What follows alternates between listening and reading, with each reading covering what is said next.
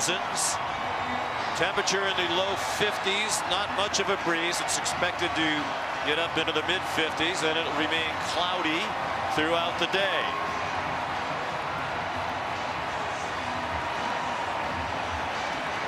Jalen Barden back deep for Pitt. And BT Potter with a big leg will kick off for Clemson. 19 of his 24 kickoffs this season have gone for touchbacks and we're underway. Returnable for Barden from the five. He's in trouble, slips down and lost the football it seemed at the 15 yard line. They got it back. So here comes Kenny Pickett emerging as a Heisman Trophy candidate. Making his 43rd career start today. What a season he's having. 21 touchdown passes, just one interception. A QBR of 88.4. Only C.J. Stroud and Cam Rising have been better. And he plays with an edge. As he says, it's the only way to play. Not only an excellent passer, but he'll put his head down and run. 18 career rushing touchdowns with a fifth-year senior from Oakhurst, New Jersey. Hands it off to Taysir Mack. Wide receiver coming around from left to right. He got near the 20-yard line for a gain of four. Made a, a, decision to come back for another year. Talked to a lot of people. Great move. He throws short to Jordan Addison. He's their leading receiver. And second in the country in touchdown catches with nine. Just a sophomore from Frederick, Maryland. And Kenny Pickett told us yesterday he asked a lot of people, was told at best he'd be a fourth round pick if he was in the most recent draft, but maybe even a sixth or seventh round pick. He said, I don't think of myself that way. Movement prior to the snap looked like Pittsburgh guilty of a false start. Seven. Five yard penalty. Still third down. Jeff Flanagan, the referee. Kenny Pickett talked to Peyton Manning. He knows Peyton Manning from his appearances. Kenny's at the Manning Academy, their camp in the summer in Louisiana. And Peyton Manning said to him, well, how do you view yourself? And he said, I don't think of myself as a That's fourth, right. fifth, sixth round pick. So back he came, and what a great decision it has been for him personally and for this very talented Pittsburgh team. Pickett's in trouble and swung down. Back at the 15 by Trenton Simpson, the linebacker. Well, it's a six-man protection. They kept the back in, and initially Kenny Pickett's going to have good time. Credit the Clemson pass coverage. It was zone coverage. It was not man-to-man. And they're able to get to him. Simpson there, an extra linebacker on the rush. And Clemson gets the turnaround on third down. These two teams annually among the national leaders in sacks. Kirk Christodoulou, the punter, the Australian. A fair catch made by Will Brown. An excellent field position for DJ Uiagalelei, the Clemson quarterback, who started last year at Notre Dame, threw for 439 yards, the most ever given up by the Irish to any quarterback. But with Trevor Lawrence now in the NFL, he very played Georgia Yes. in the opener. Yes. Coach Swinney said he was in a funk, but he's had his two best games the last two weeks against Boston College and Syracuse. They open in the pistol. Kobe Pace was the running back. It goes out wide instead. And chopped down immediately was Beaux Collins by Marquez Williams, one of the Pittsburgh corners. Clemson going with a little tempo here. No huddle. Take a look at some of the receivers missing from this Clemson offense today. Joseph Ngata out. Frank Ladson also out, but they get Will Shipley back at running back. There's a nice move down the sideline by Beaux Collins, the true freshman from Los Angeles out of John Bosco High School, where he was two years a teammate of DJ Uiagalelei. Gain of 10 yards on the play. And a Clemson first down in Pitt territory at the 44-yard line. They line up with Braden Galloway in the game. And a false start.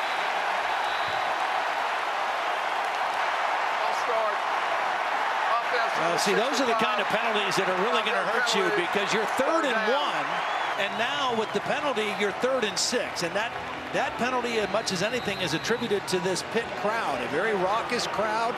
They got here early, they were outside the stadium, and that noise caused the false start. And Clemson had a similar problem like this on the road in their loss to North Carolina State. I was mistaken. Will Collins did not get the first down.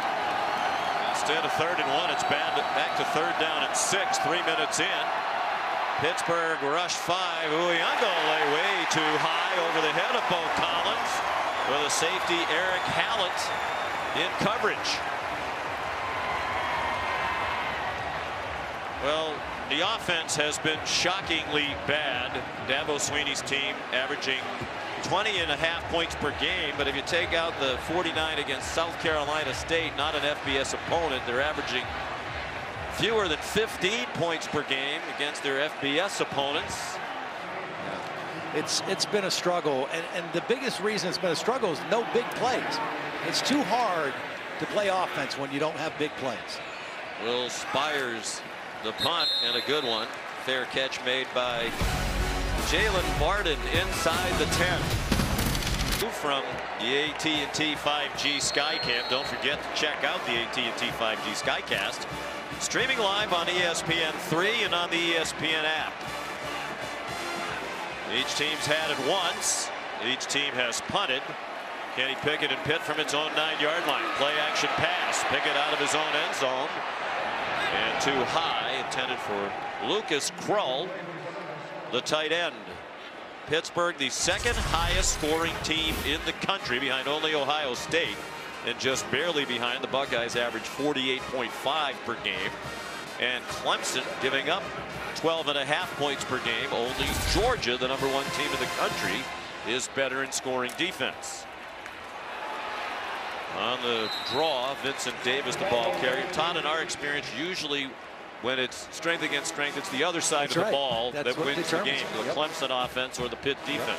Exactly right. And right now, I would give that edge to the Pitt defense. I think they, even though they lost a lot of guys in the NFL, they've played a little more consistently than that Clemson offense has so far through the first six games of the year. Got a quick look at the coordinators on this side of the ball. Mark Whipple calling the plays for Pitt. Brent Venables, the defensive coordinator for the Tigers. They need a lot of run after the catch. And Melky Stovall, a transfer from Hawaii, and he didn't get to the first down marker. Came up about five yards short. Jalen Phillips there for Clemson. Interesting, the first two third down plays of the game, Brent Venables, defensive coordinator, rather than going after Kenny Pickett with pressure, dropped into zone coverage, just a four-man rush. This is the best quarterback that they have faced. Now, Devin Leary from North Carolina State played well against him, but Kenny Pickett has played elite, and I'm curious how much they will try to pressure him or play coverage. Kirk Christodoulou punts again. Better kick this time. Fair catch made by Will Brown as he backpedaled near the 35 yard line. Clemson winning in scoring. And they come into this one having scored 21 or fewer in four straight games for the first time since 1998. And that's a big reason why right there. Braden Galloway dropped the ball. When we spoke with Dabo and Tony Elliott, the offensive coordinator, they said either drop passes or inaccurate passes have been a big problem. Yeah, they've averaged between four and six drop passes a game. Galloway did not play last week. He got a concussion in the Boston College game. This is his first game back. And not able to make a catch on his first attempt. Second and 10. Panthers were showing blitz. Uiagalelei takes off running. Nice cut.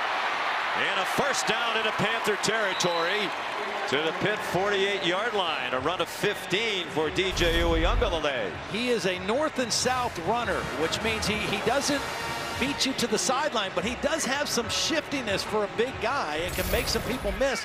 That was just a good decision. He wanted to throw quick, thought the blitz was coming. Pitt faked it out, and he made it a good decision to run the ball. Here's Will Shipley, the talented true freshman out of North Carolina. Missed the last couple of games with a knee issue. And he got ahead for just a couple, stopped by SirVocea Dennis. Terrific linebacker for Pitt, who'll play all three of their linebacker spots today. The guy Clemson's got to get going early is Justin Ross right here. He's been pressing a little bit. He's had a lot of drops, but he is the most talented guy they have. Here's Shipley again. Good oh. cut, and he stumbled across the 40-yard line. It looked like he had much more to gain, but he just tripped and fell with barely enough for the first down. Yeah, the little stretch play. He saw some daylight and cut it inside and just got tripped up, or that was probably going to the house. Well, you were on the field before the game. You made the point about this surface. Yeah, it's it's not the strongest grass. It's it's a little loose. It's a little higher than I'm sure Clemson is used to at home in South Carolina. It is new within the last few weeks, we're told. Uiagalelei deep ball. Broken up, intended for Beaux Collins. And Brandon Hill, the safety, saved the touchdown. Well, the ball was thrown over the opposite shoulder where the receiver thought it was going to be, and it hung in the air. It was underthrown, and that allowed the safety Hill to get there and make the play. If the ball is thrown out towards the goal line, they probably have a touchdown. You will have chances to make big plays against Pitt. They play a lot of man-to-man -man coverage. Here's Will Brown. Good run after the catch, and he spins ahead for a first down. That is what Clemson has been missing on offense also, is the little slot-type receiver that they've always had. They've had some injuries, and to see Will Brown now get to make a play like that, that, that's a big part of what Clemson's pass offense has been over the years. They've tried to play Justin Ross in the slot. He's not really comfortable there. That was a good sign for Clemson's offense, that play. First catch of the season for the graduate student, Will Brown. After the run fake, it's intercepted. Picked off by Damari Mathis. And he runs it back to the 20, tackled by Davis Allen.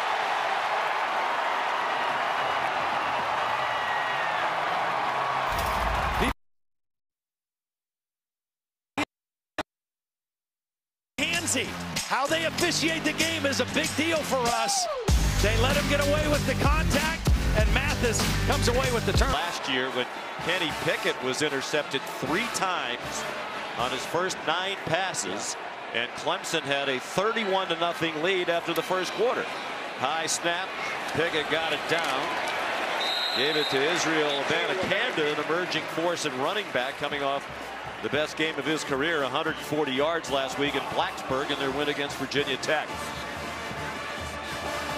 They're going consistently up tempo at the start of this game, nearly midway through the first quarter, no score. Whether that's not a normal part of Pitt's MO, it is when you play Clemson because Brent Venables is a defensive coordinator that likes to wait as long as he can. He wants to play defense susceptible to tempo. It hasn't helped the Pitt offense yet. They haven't had a first down. Can they convert on third and two? Pickett. He's a good runner, as we told you, and he dives for the first down. See, that that is that quote that we had in the open, that you got to play with a little chip. It's not there. He's a good scrambler. He's particularly good when he scrambles to his right, and he just outruns Skalski to the marker for the first down. I mean, those are two players that play the game exactly the same way. They both have a linebacker mentality. It's just one of them's a quarterback.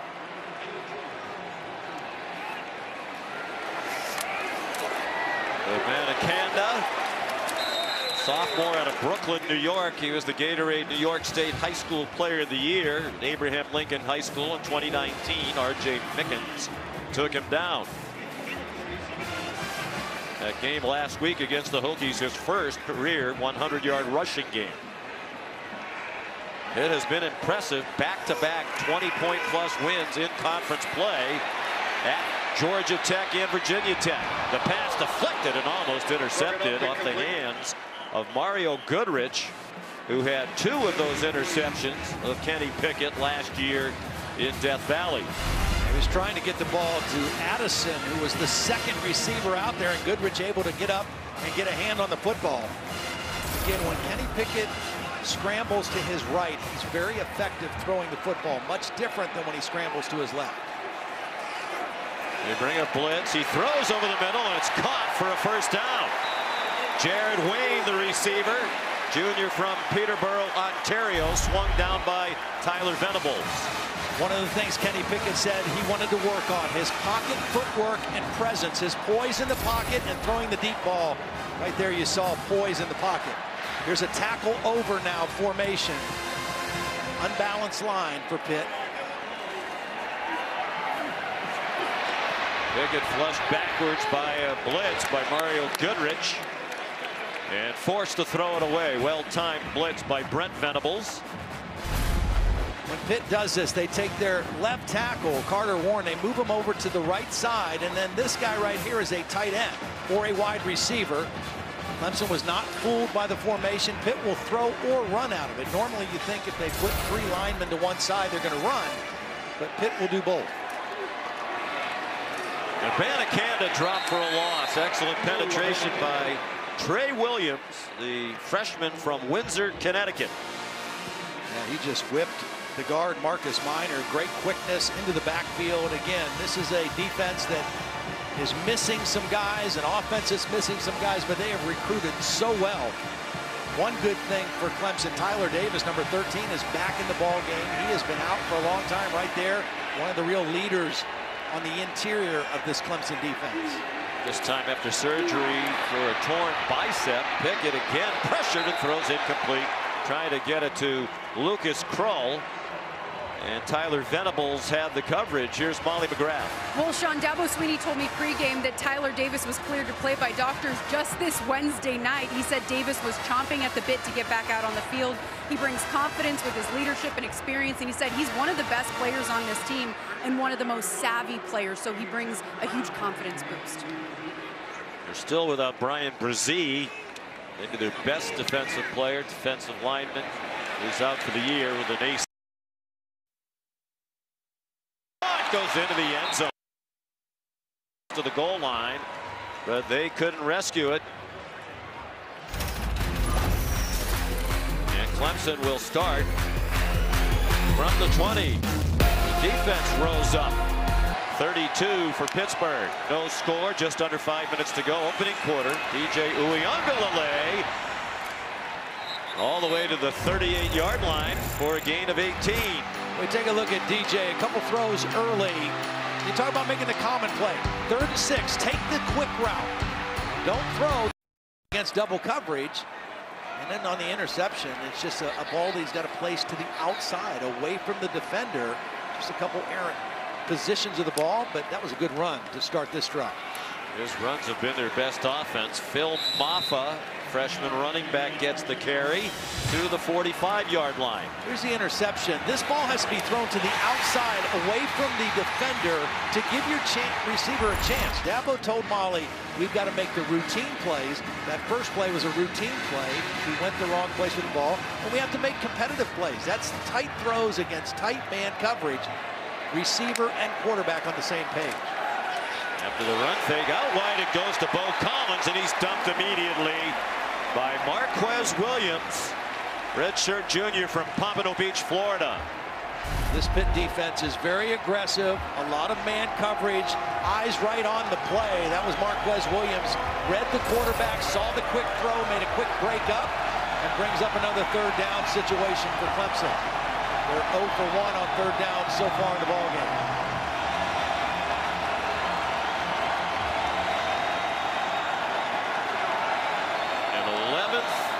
in the conference on third down. Clemson at 38%, third down and six. Davis Allen, a big target, number 84. It's a deep ball, and it is caught. A Joe a Joe runs under it. And a rare big play of 20 yards plus for Clemson this season. That's 34 yards and a first down. Yeah, only their 13th play like that. Now, this is a perfect throw. Out over the outside shoulder. Your receiver had a step on the defender. Ball placement was perfect that time by DJ. Mafah could break free from a leg tackle. Well, it was shocking when we looked at the numbers, the lack of big plays for Clemson on offense. 128th in the country with now 13 plays of 20 plus. Only Colorado and Rice Yeah. have had fewer plays of 20 plus than Tony Elliott's offense. Uh, and again, offensive football is too hard. You're not going to put together 12 and 13 play drives against good defenses. You've got to have chunk plays. They caught Pitt in a corner blitz. Justin Ross fighting to try to get to the end zone. Brandon Hill wouldn't let go. But it is to the five-yard line and first and goal for Clemson. Well, it was a good read. It was a corner blitz. That's the quarterback and the wide receiver being on the same page. They were both able to make the adjustment.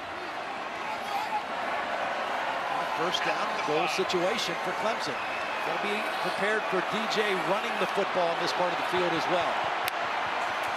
They just did get their defenders off the field, down to the goal line, and short of it is Will Shipley.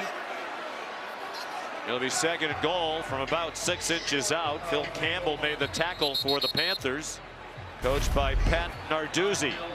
Really good double team as you take a look at the replay on the progressive pylon cam. Double team by Jordan McFadden and Matt Bockhorst on the left side, and Shipley got right in behind there and almost got that ball to the goal line. You see his knee down before the ball crossed the plane. 65, Matt Bockhorst. And the injured players, Matt Bockhorst. We talked to Dabo Swinney and Tony Elliott about other reasons why the offense has had a tough go of it. Injuries, Yeah. inconsistency on the offensive line. Bockhorst, one of their best, really an emotional leader. Second year starter at guard out of Cincinnati, St. Xavier High School, where he was an Under Armour All. They've had three different starting left guards this year, including Bockhorst. Tonight, Saturday Night Football, a Big Ten battle in Bloomington. Heisman hopeful quarterback C.J. Stroud leading the number five and rising Ohio State Buckeyes against Indiana. That's at 7:30 Eastern on ABC and the ESPN app. One app, one tap. The Buckeyes have won 25 in a row against Indiana. Well, how do you? To me, as a Heisman voter, I want to see how guys play in big games. That that's what I put more credence in anything. So like a game like this today for Kenny Pickett is huge. You know, I think he's played at an elite level, but when you play on a stage like this against a team like Clemson, if you play well, that gets people's attention across the country. That does not look good for Bockhorst and Clemson. They've had eight different offensive linemen start games this year. I mentioned three different starting left guards, three different starting centers, two different starting right guards through the first six games of this season. Mason Trotter, the center, didn't play a snap until last week. On second and goal, it's a touchdown with ease. Phil Mafah and Clemson is first on the board. On the first career touchdown for the freshman from Loganville, Georgia. Ran right behind the replacement left guard. Marcus Tate, number 74, came into the ball game to replace Bockhorst. And Mafah ran right behind him. Good push up front. Clemson on the board first. Couple nice throws and reads by DJ Uiagalelei on that drive. BT Potter adds the extra point. Mafah out of Grayson High School in Georgia, the same school that sent several players to Clemson, including Wayne Gallman, the fine running back, who moved on to the New York Giants.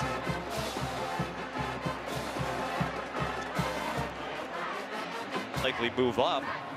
They play Clemson, what will be a very important game, you would suspect, on November 20th. That is in Winston-Salem.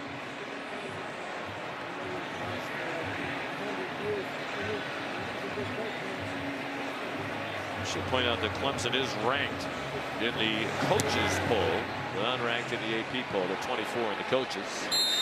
Touchback by BT Potter, and here's Matt Barrie. Okay, Sean, time now. Rocket Mortgage student of rank. The Rose Bowl, DTR to Kazmeir Allen, 14 nothing Bruins in the first quarter. By the way, Penn State, Illinois, eight overtimes. Blackledge, what do you got on that? you better have a bunch of two-point plays now. Better have some new creative ones.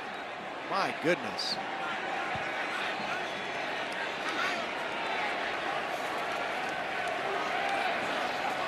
Pass in the flat off the hands of Vincent Davis. Dangerously so. As Sheridan Jones was in the area for Clemson. Yeah, Sheridan Jones, if he'd have known where the football was, he might have made a play on the ball. The ball had some hot sauce on it coming out to the back. Pickett now just three out of eight. That ball is a juggling catch by Gavin Bartholomew. He's the backup tight end. They have two very solid tight ends. Mark Whipple said last year we didn't have any tight ends we could throw the ball to. Yeah, I like both these guys. Bartholomew, a true freshman, small school over in Pennsylvania. Lucas Krull is a grad transfer from Florida, really good pass catcher, both big bodies, and they give versatility to this offense. 11 yard gain under a minute to go in the opening quarter. Pickett on target to the 40 yard line. A gain of four on a completion to Jordan Addison. We talked to Dabo Swinney. I mean, he was raving about Kenny Pickett. Just says the game looks slow to him. He says he's a real rhythm passer. We've got to affect him. A couple of those third down plays and earlier drives, they were able to affect him. Those last couple throws, rhythm throws by Kenny Pickett. They're finding success over the middle to the running back Vincent Davis there swung down by Skalski but forward progress to the 49 yard line of Pitt and another Panther first down. One of the things that Brent Venables has to weigh, if I pressure and leave guys in man-to-man, -man, they've got a lot of weapons all over the field. This empty backfield, they've got a lot of matchups. Over the middle again. Krull has the ball knocked out. And it looks like Clemson has it at the 35-yard line. Nolan Turner popped the ball out on the catch by Krull. This is the kind of matchup you want. You want Krull working on the safety. Turner, it's a good throw and catch. Turner just doesn't give up on the play. It knocks it out. And E.T. Rubin, the recovery for Clemson. In that game last year, there was five Pitt turnovers in the ball game, four interceptions and a fumble. As you mentioned, the game was pretty much over after one quarter when Clemson jumped out to a big lead. There's another big turnover. Pat Narduzzi's hollering at the officials. He thought it was an incomplete pass and that this should be reviewed, but it's not going to happen. Clemson with the ball and a seven-point lead. Kobe Pace running room outside. Lowers his shoulder and gets a first down. On the last play of the first quarter. Dabo Swinney said recently he feels like the offense is starting to find its rhythm. It has here late in the first quarter.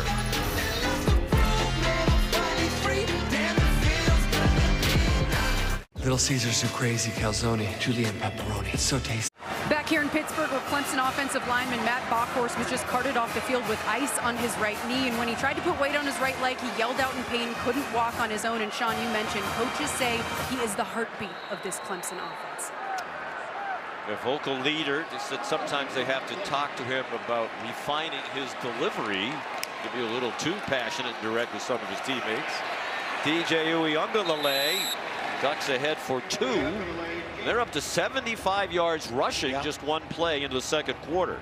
Well, they felt that Boston College and Syracuse, they finally have got some consistency in their run game, and that is opening up opportunities in the pass game. Now, in the past at Syracuse, they didn't capitalize on opportunities throwing the ball. Today, they've hit a couple good plays off this run game. Kobe Pace, the running back, he took the handoff and got stacked up at the 50-yard line. Chase Pine first there for Pittsburgh playing in his 52nd career game. They have 13 super seniors, sixth year players. And a big third down opportunity for the Pitt defense right now.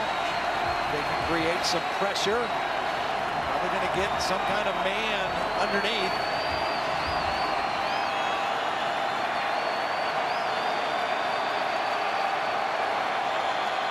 Four receivers, two to each side for Uiagalelei. Pressure up the middle. He got it off, but it wasn't well timed with Justin Ross. They threw that one well before Justin Ross was out of his break, which is okay if you put it right on the guy, but that ball was thrown to the sideline and Ross never had a chance.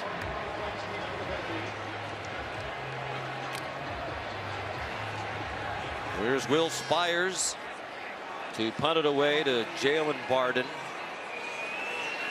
Fifth year as the starting punter for Spiers, his 63rd career game.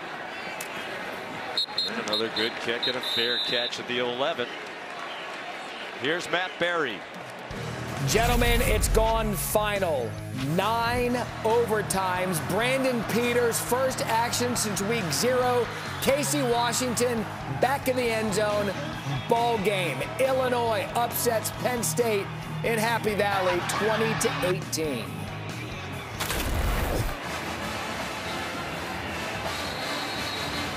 Well, we'll let you ponder that about your alma mater. Meanwhile, Pittsburgh did not score in the first quarter. Didn't score in the fourth quarter, Virginia Tech, but they were nursing a big lead. They really were just trying to run out the clock. Here's their biggest play so far. Israel Abanikanda out to the 35-yard line, a 24-yard run. Very patient runner, and he's got great speed, but he still has patience to wait behind the blocks and, and make people miss. Nice run to start this drive for Pittsburgh. They need a couple chunk plays in their offense. Four-man rush. Pickett stepped into that throw on target to Jordan Addison. He's thrown down at the 40-yard line of Clemson by Andrew Mukuba, the freshman safety. Nice job by Taysir Mack, number 11, in that bunch formation, kind of clearing out the defense. He ran the deep route, and Addison kind of ran the in route behind him, and Kenny Pickett found him for a big play. That's the two biggest plays now that Pitt has had in the ball game, back to back. That pass was 25 yards. Pickett to Addison. Pickett running out of time, throws it away. Mukuba came on the blitz. True freshman out of Austin, Texas. Who started in the season opener against Georgia. They lost Lannden Zanders. Yeah. Who they thought might be a starter in preseason shoulder surgery. No big deal because this guy's been terrific. He has been, and, they play with so much with safeties. A lot of times three safeties. Like right now, they've got three safeties in the ball Kanda stopped at the 37-yard line, led by James Skalski. You got Nolan Turner, Mukuba, and Tyler Venables that are in there together as safeties. They've got to be good in the run support in this defense, but they also are going to be called on to play man-to-man -man coverage. You're going to have a lot of versatility.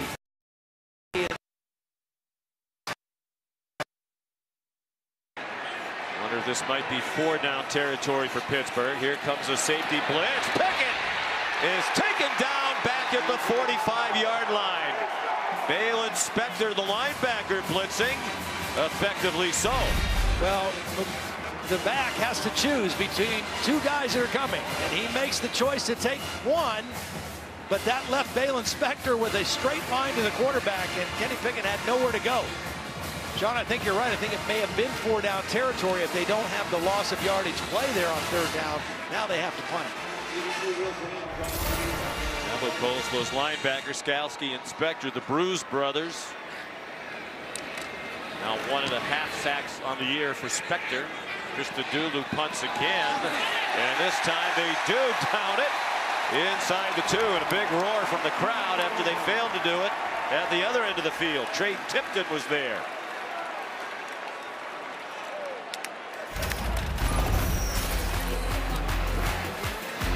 Work by the Pitt special teams. They play one under center, handed it off to Will Shipley, got belted after a pickup of three. This Pitt defense on first and second down, I mean, they, they don't try to fool you. I mean, This press quarters coverage that Pat Narduzzi ran when he was the defensive coordinator at Michigan State. Here again, they press on the outside. They come downhill with the linebackers to stop the run. DJ throws and a juggling catch made. Very nearly another drop. But Beaux Collins able to take it in for a Clemson first down. These are the players that have the most pressure in this defense. It's the safeties. That's Erick Hallett, who's in coverage on a slot receiver in man-to-man, -man, but he's coming from 10 yards deep.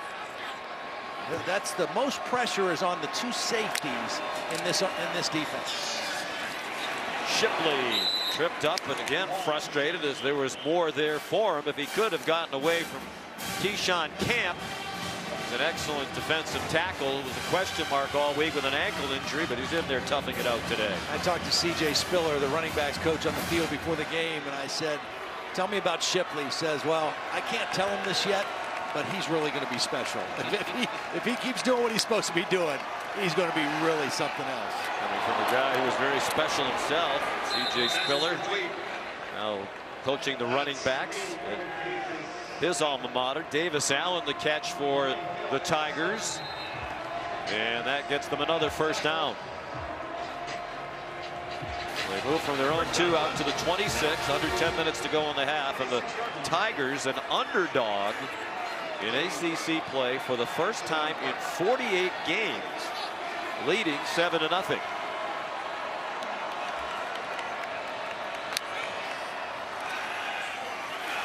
DJ tried to pull it down and run again. Not that time.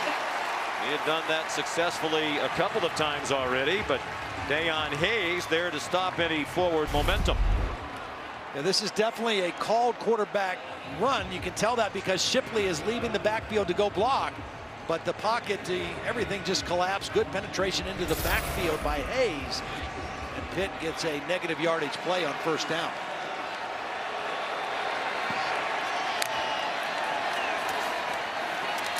Shipley, first down. Loaders head at the end of the run. They followed the lead blocking of Davis Allen, the tight end, John Patrician, the tackle. Watch this. It looks like he's coming all the way across and he's going to circle back and block at the point of attack. They pull the backside guard and the tight end. They get the flow of the Pitt defense going one way and Shipley cuts it back with good speed and burst for the first down. Dabo said they have been getting the running game going, and it's continuing again today. Uiagalelei, it's dropped. And when you talk about why don't they have more big plays, there it is. Another drop yep. that would have been not only an explosive play, this one would have been a touchdown by Shipley. The number three receiver on the inside. He's working against a backup defensive back, the star linebacker Petrishen, and he beats him badly. And you can't throw the ball any better than DJ did right there. And Dabo has seen that too many times this season already. Perfect play call. Hit brought a blitz. Go out wide. And they'll mark him out of bounds at the 44-yard line. Well, even if Clemson doesn't get any points out of this drive, the fact that they've moved from outside of their own two with the way their defense has played all year, you are flipping the field and playing to the strength of your team, which is their defense.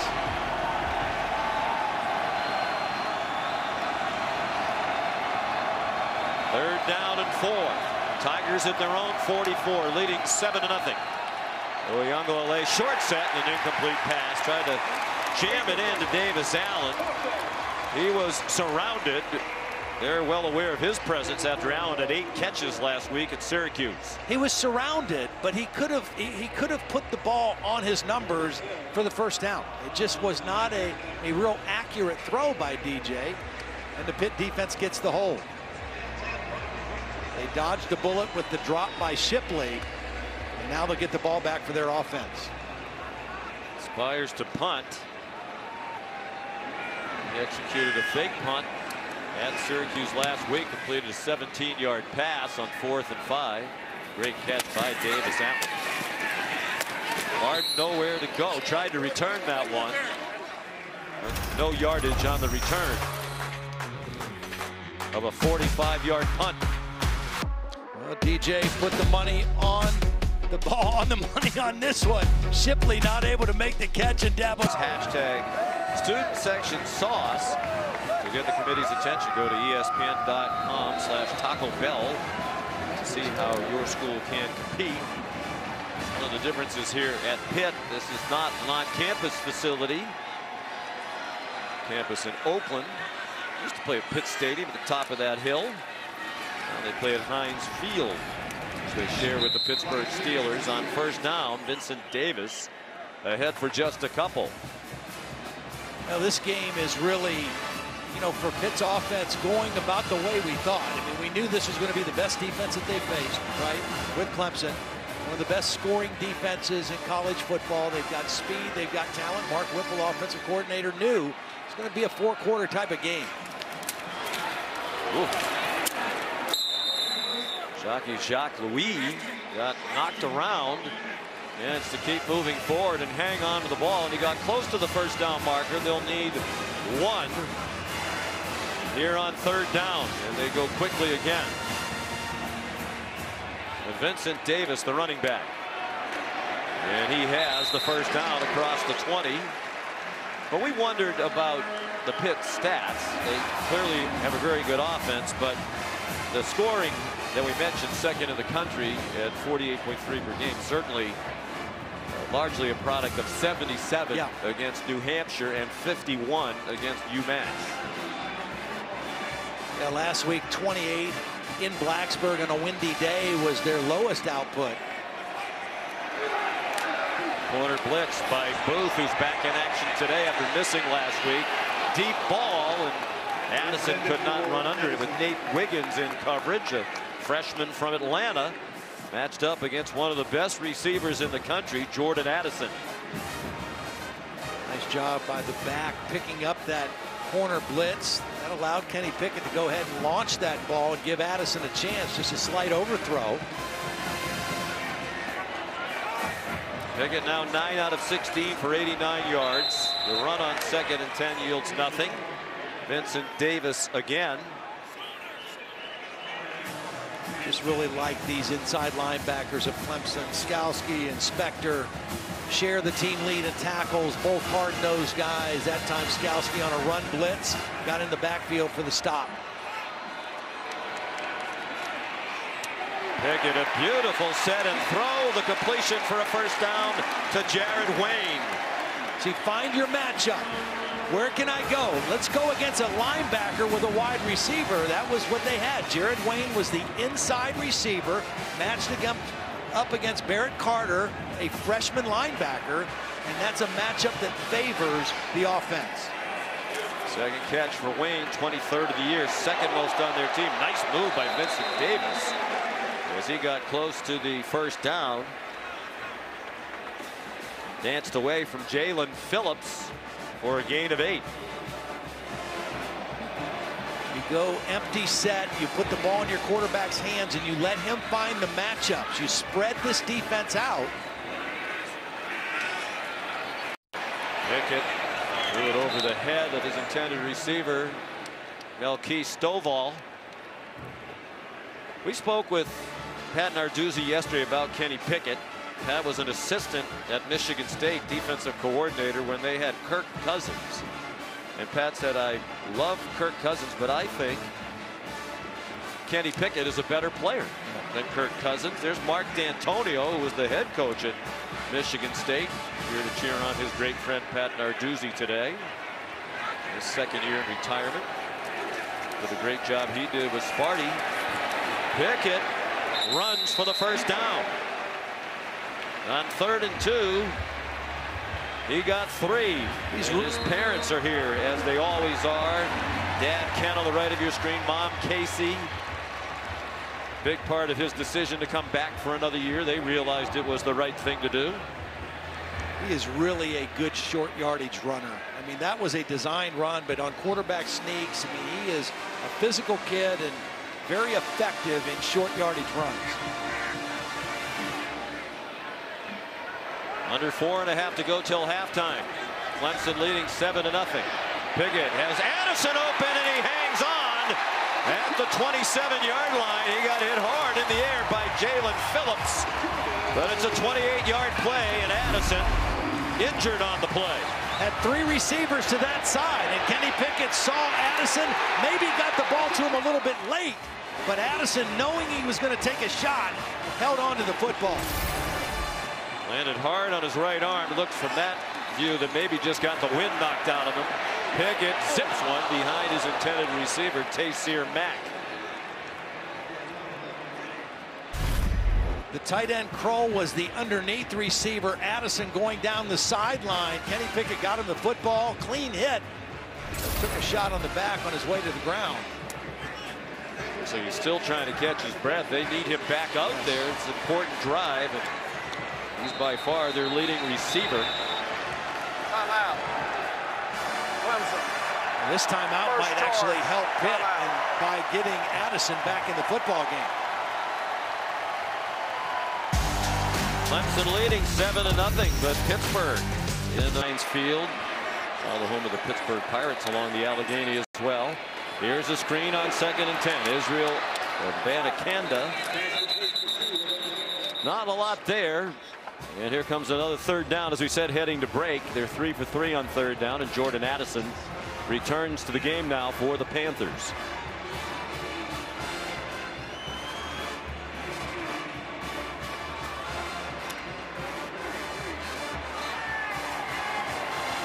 Pickett 13 for 22 for 142. We have Addison on a safety right now. Design roll to the right. Throwing on the run. Corner of the end zone. Addison beats the safety Turner for the touchdown.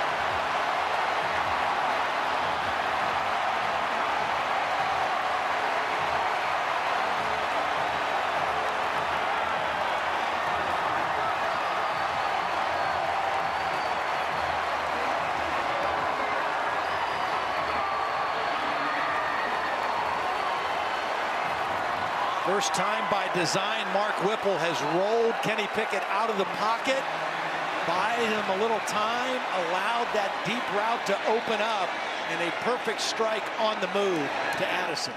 Oh, the extra point, no good. Sam Scarton rifled it off the upright. That's his third missed PAT this season. Offside. There's a look at the touchdown. You can hear in the background the referee, Jeff Flanagan. They'll get another shot at the extra point because the Tigers were offside. A beautiful throw by Kenny Pickett to Addison. Addison came back for that third down play. Nice design. And now a second chance to tie the football game. Pickett's thrown 22 touchdown passes to one interception this year. Scarton. Mm, Still a little closer to that Another upright than penalty. Pitt fans were would like. I think they were offsides again. I think they're lined up offsides. Well, as close as that one was, I think Pat Narduzzi will say, we'll take the kick. That penalty be declined. Point The touchdown catch, his 10th of the season, tied 868 in his career, and he moves one ahead of Alex Van Pelt for the most completions in Pittsburgh history. And a lot more football still to be played for Pickett. Back in the studio, here's Matt Barrie. Okay, Sean, coming up with the Lexus halftime report. You mentioned history. We had that in Penn State and Illinois. What a finish we had there. Plus Oklahoma again. Needed a second half comeback. Caleb Williams against the star. And UCLA and Oregon. We've got a good one brewing in the Rose Bowl. Sam join me coming up on the Lexus halftime report. I thought some of the top teams in the country, I believe six of the top seven teams in the rankings were favored by 20 or more points today. Thought it might be a breeze for teams like Oklahoma and Penn State. It obviously was not. After the play fake, DJ Uiagalelei, a battle for the ball, and it's incomplete. Beaux Collins wrestling with the safety, Erick Hallett, and the ball hit the ground. It's a good read by DJ and a good throw. Gave his receiver a chance. Just an excellent play by Hallett in man coverage on a slot receiver. and knocks it out. Hallett's the guy that replaced probably the heart and soul of this defense a year ago. Damar Hamlin, the safety, a four-year starter. And Hallett is a guy who's got to take that responsibility as the leader in the back end of this defense. They had five defensive players drafted earlier this year in the NFL draft, including two All-American defensive ends. Here comes a blitz, and the pass off the hands of a Joe Joe tough catch. They've had two blatant drops today, 15 for the year, including a ball that would have been a touchdown to Will Shipley. Well, that ball had to come out when it did because SirVocea Dennis was coming unblocked on a blitz to the inside. And DJ had to get rid of the football. This is the loudest this place has been today here third and 10.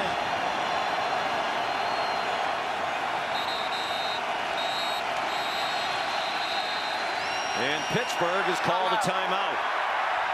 Pittsburgh. I don't think Pat was calling the timeout to make the crowd louder. As you said, it was clearly as loud as it's been all day.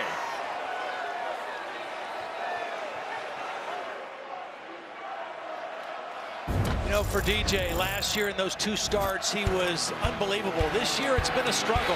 It's either been bad ball placement, not putting it where his receiver has the best chance to make the catch, or it's been a case of when he is accurate with the football, his receivers drop it. We've seen drops again today. It's been a consistent theme. This one would have been a touchdown. And it's just been that combination. Sometimes it's on the quarterback not putting the ball where it's supposed to be. Sometimes it's on the guy not catching the football. Well, he stepped in as the starter last year when Trevor Lawrence tested positive for COVID-19 memorable debut against Boston College. They were down by 18 points.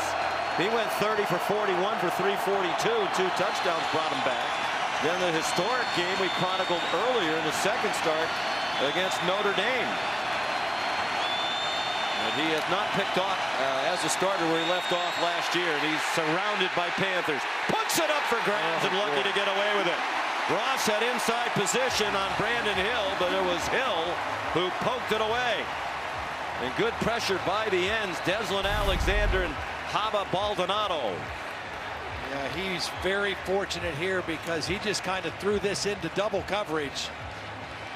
And very lucky that that one wasn't intercepted. Justin Ross able to at least knock the ball away and prevent an interception. Will Spiers to punt again. 3.03 to go in the half.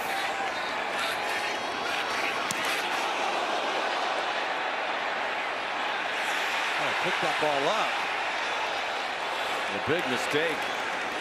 As low as the kick was, he had plenty of time to pick that up and get the ball upfield for at least 10 yards. For Jake Cradle, the offensive lineman, telling him they tossed themselves plenty of field position with the failure to pick that one up. It wound up as a 51-yard punt. Week 7 Monday Night Football. Alvin Kamara and the Saints in Seattle to take on DK Metcalf and the Seahawks. Coverage begins with Monday Night Countdown at 6 Eastern on ESPN and the ESPN app. And we also would note that Peyton and Eli Manning return this week on ESPN2. Congratulations to uh, Eli Manning being honored at Ole Miss today. Deservedly so. They put the name Manning in each end zone. Understandably so. Israel Abanikanda, the ball carrier. He got two. Each team with two timeouts left as we approach two and a half minutes to go until halftime. Four wide receivers for Kenny Pickett. Pass incomplete, and here comes a flag from center field for pass interference against Trenton Simpson, the linebacker covering the wide receiver, Jared Wayne. See, again, you go empty backfield with five guys out, and you find out, okay, who are the safeties covering? Defense number 22. Penalty is an automatic first down at the spot of the foul. Who are the safeties covering and who are the linebackers covering? Is it a wide receiver? I like that matchup if you're Kenny Pickett. If I have the protection, that's where I'm going with the ball. Pickett Spun away from the rush several times. Here comes the flag for a holding call. As he spun away. That might help Dabo Swinney Holding. calm down a little bit. He didn't like the pass interference call. 10-yard penalty. Got Carter Warren Still holding down. on Myles Murphy, number 98, a little inside move. A far cry from a year ago when Kenny Pickett and Pittsburgh really struggled. They got annihilated, never in the game, down 31 to nothing at the end of the quarter at Clemson. Pat Narduzzi said we're a much different team this year. They were without three starting offensive linemen last year. Abanikanda stacked up after a very short game. It's a veteran Pittsburgh team. I mean, this is the year if Yep. they are going to take that next step. Yep. A lot of guys came back. You know, not just Kenny Pickett. A lot of other guys came back, having good seasons, veteran leadership. Good poise in the pocket and a drop. Oh boy. Oh my goodness. Abanikanda dropped it and then Baylon Spector dropped him. It almost looks like Spector didn't know the ball came out. Like he felt he had to separate the ball from the defender.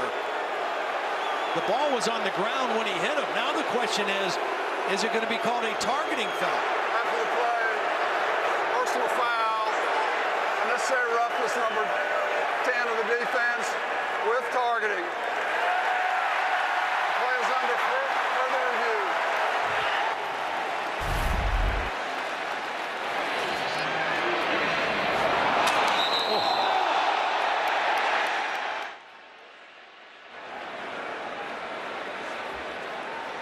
Bring in our yeah. rules Let's expert, Matt Austin. Looked like the contact is into the right shoulder of Abanikanda. Matt, what do you think? I I agree with everything you just said. Originally, I thought it was definitely targeting, but I do think he got his shoulder low enough, got him in the chest. Uh, I would not be surprised. This should be overturned. But it would still, could it still be a personal foul, right? Oh, it's a As late late hit, no matter what. Yes, the 15 yards is no matter what, but he should be able to keep playing. Right. I would agree with that too. And that would be a huge loss if he can't.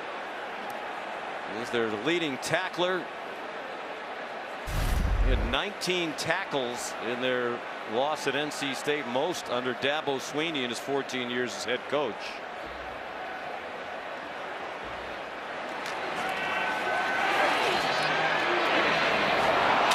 Replay officials Jack Kramer.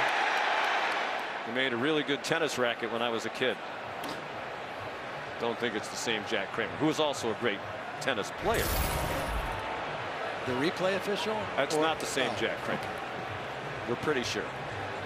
I think the Jack Kramer I'm talking about is a little older. After further review, there was no targeting on the play. Number 10 may remain in the game.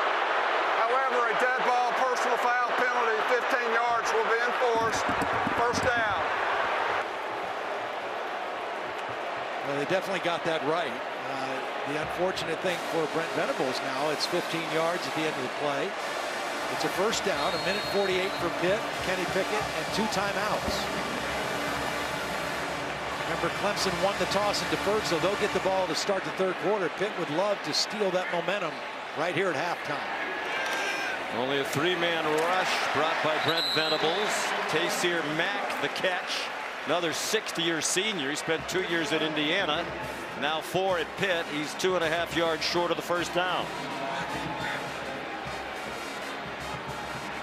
Their field goal kicking is a question mark. They've only tried four all year.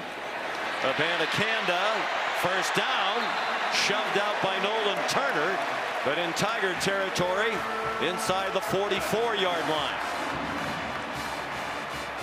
Mark Whipple very comfortable and confident with his quarterback right now, spreading things out, letting him find matchups, and credit the front five of Pitt for giving him enough protection to throw the football. Pickett, lots of running room, slides down at the 37. Perhaps they'll, they'll mark it back where he started the slide at the 38. There's another three-man rush. I got to expect that they're going to try to pressure Kenny Pickett here soon because if you only rush three and give him time, he's going to find holes in your defense. Here they come.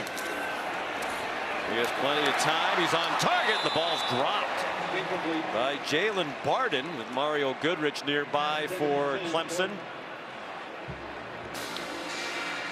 Barden, who also cost them some field position, but he didn't scoop up that punt.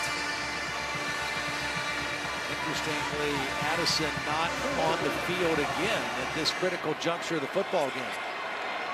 Probably not in field goal range. Tentative rush, almost like they're spying Pickett. He throws, and that one could not be squeezed by Abanikanda with Barrett Carter, freshman linebacker, in coverage. Really good job by the linebacker Carter. He's out there in space with the running back. Kenny Pickett tried to throw a back shoulder. They're going to go for it, it seems, on fourth down. Fourth and five. Addison is back on the field now. He's at the top of the screen, right there in the bunch formation. Here comes pressure. Picked up nicely. Man wide open! Touchdown Pittsburgh! Taysir Mack! Nine yards.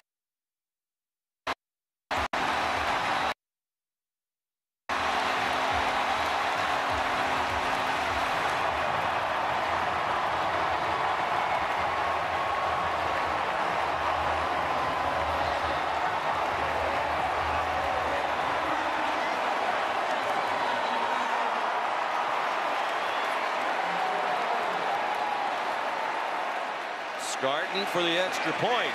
He has to be a little shaken by what transpired the first time around. That one much closer to dead center. And Pittsburgh leads for the first time today with 40 seconds to go in the half. Again, great formation. You've got two receivers right here. Now, this is a safety and this is a corner. And Kenny Pickett is going to read the matchup and say, I like my receiver on a linebacker, Barrett Carter, and you can see why. Taysir Mack easily beats him right at the beginning of the route. The protection is there. There's no safety help. And Kenny Pickett with the right decision of where to go with the football. We saw it earlier on the touchdown to Jordan Addison against a safety. That time it was Taysir Mack working on a linebacker. And Kenny Pickett gets his second touchdown of the day. Helping his Heisman candidacy for sure. 218 yards passing and two touchdowns in the first half against the number two scoring defense in the country.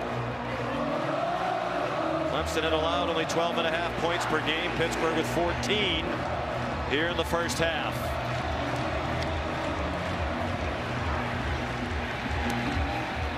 Sam Sauls kicks off. Returnable for Will Shipley. Will Shipley room outside across the 30. And out of bounds at the 36 yard line. It was the kicker Ben Sauls who had to take him out. Kenny Pickett making history now it seems almost with every pass. He just moved past the great Trevor Lawrence for fifth most passing yards in a career in ACC history up to 10,136 and if he stays healthy he'll likely become number one all time at Pittsburgh and pass Alex Van Pelt. Wish they weren't in the ACC when Alex Van Pelt played here in the late 80s and early 90s. DJ wants to throw it and they want to throw him down. And finally they do. It's hard to get him on the ground. He's big Cinco at 6'4", 250. But Baldonado led the way for the sack. And it looked like his eyes immediately went down to the rush on that play, Sean. The last couple throws, he has not looked like he trusts his protection. And he's not looking downfield at receivers. His eyes are down, seeing where the rush, the rush is coming from. Watch how his eyes kind of go down. Of course, you can't really see him, but you can tell he is not comfortable with what he thinks the protection is going to be. If you're a quarterback and you play against these teams, you expect to be taken to the ground. Since 2019, these are the top two sack teams in the nation. Pittsburgh number one, Clemson 11 behind. Part of the reason that both these teams get so many sacks is they play a lot of man coverage. So there's no real easy windows to throw. And so as a quarterback, you know I'm not going to get the kind of separation. I've got to throw guys open some and anticipate breaks. Extra rushers. When you're playing man-to-man, -man, a Clemson timeout. They want to stay aggressive. Down by a score. That's into traffic and incomplete off the hands of Ajou. A Joe. The sophomore from Brooks, Alberta. First Canada signee See, for this, Clemson football. That's the throw that DJ has to get better at. The back shoulder throw. You've got big receivers. They have big bodied receivers that aren't going to run away from people, but that ball has to be placed better. It has to be thrown outside away from the defender so your receiver has the best chance at making the catch. That's an area that he still needs great improvement on. Uiagalelei 9 for 20, but with a couple of crucial drops, including one that would have been a long touchdown. They go to the run to Kobe Pace on third down and 12. He did not get the first down. And it doesn't look like either coach is going to stop the clock. They're content to go to halftime. Dabo Swinney's defense gave up 195 yards in the second quarter as the game tilted in favor of the Panthers. Last two drives, Pitt went 90 yards and 76 yards. Presented by Papa John's. This is the ACC on ESPN. From Heinz Field in Pittsburgh, where the sun has broken through the clouds for the first time today. And where Pittsburgh, with 14 points in the second quarter, has taken a 14 to 7 lead on Clemson into the third quarter. Ben Sauls kicks off for the Panthers. Will Shipley won't try to bring it back. And let's take a look at who's making big moves today, brought to you by SoFi. Well, it's a game of matchups. Jordan Addison against the safety, Nolan Turner. Turner's a good football player, but a little overmatched, especially with a perfect throw. And then the other touchdown, Taysir Mack working on a freshman linebacker. This is a mismatch. Again, my formation, you find the matchups, the matchups is that's what happens in the NFL. Well, Pitt's got a former NFL offensive coordinator, Mark Whipple, and a future NFL quarterback in Kenny Pickett, and they're playing the same game today. Mark Whipple coached in the NFL with Pittsburgh, Philadelphia, and Cleveland. First play from scrimmage of the second half. It's Kobe Pace. Out to the 31 yard line, a gain of six. Halftime stats brought to you by PlayStation. 88 passing yards for Clemson, but you think about that yep. big drop by Shipley. That would have been a long touchdown. And the third downs, I mean, that's the clear advantage for Pitt, especially late in that second quarter when they really started to make their move. Six of 11 against this very stout Clemson defense. It is now correct, 1449. Clock will start on my signal. DJ Uiagalelei, 9 for 20 for 88 yards. You saw the drops were a problem. No touchdowns, one interception. He rushed for 31 yards, averaged 6.2 per carry. Here's Pace, did well to stay on his feet and reach the 40 with a Tigers first down, tripped up by Deslin Alexander.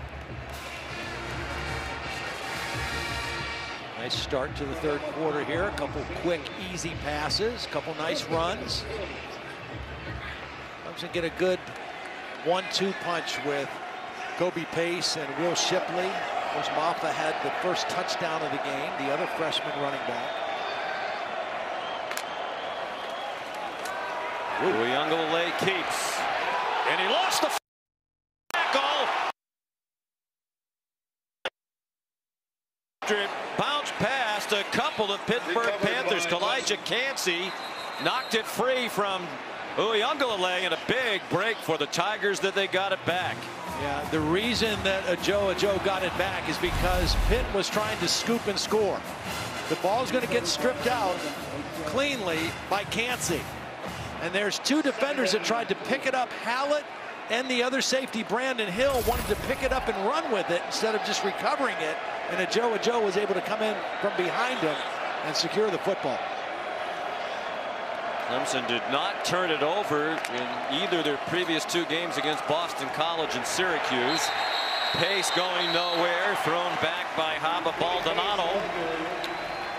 You know, an interesting number, though, about this Clemson offense. They've only had two fumbles that they've lost this year, but that's the 15th time they've fumbled, where they actually put it on the ground, but didn't lose it.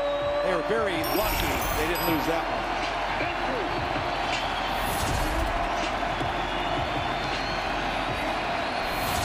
Nothing there on second and short. Sets up third down and three. You saw on the PlayStation stats, the Tigers are one for six on third down. Uiagalelei over the middle, caught, and it looked to be enough for the first down. It will be on the spot. Justin Ross to the 49-yard line of Pittsburgh. It's a tight throw in a tight window. Justin Ross on the crossing route. Knows he's going to get hit. It's good coverage by the corner, Damari Mathis. And DJ put it on him for the first down.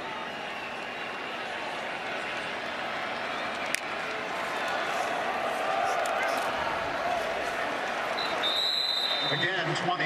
Pace ahead for a couple. Of course, this has to be an emotional day, you would think, Todd, for Justin Ross. He's back in Pittsburgh, where he had spinal surgery the summer of 2020, missed all of last season. They thought it might be a career-ending fusion situation for him. His surgeon, Dr. David Okonkwo, is here today. That's a special memory for Justin Ross. Came here to have surgery done by one of the best in the country, and obviously. Oh my goodness! Oh my goodness! The pitch is picked off, and it's going to be a touchdown for SirVocea Dennis.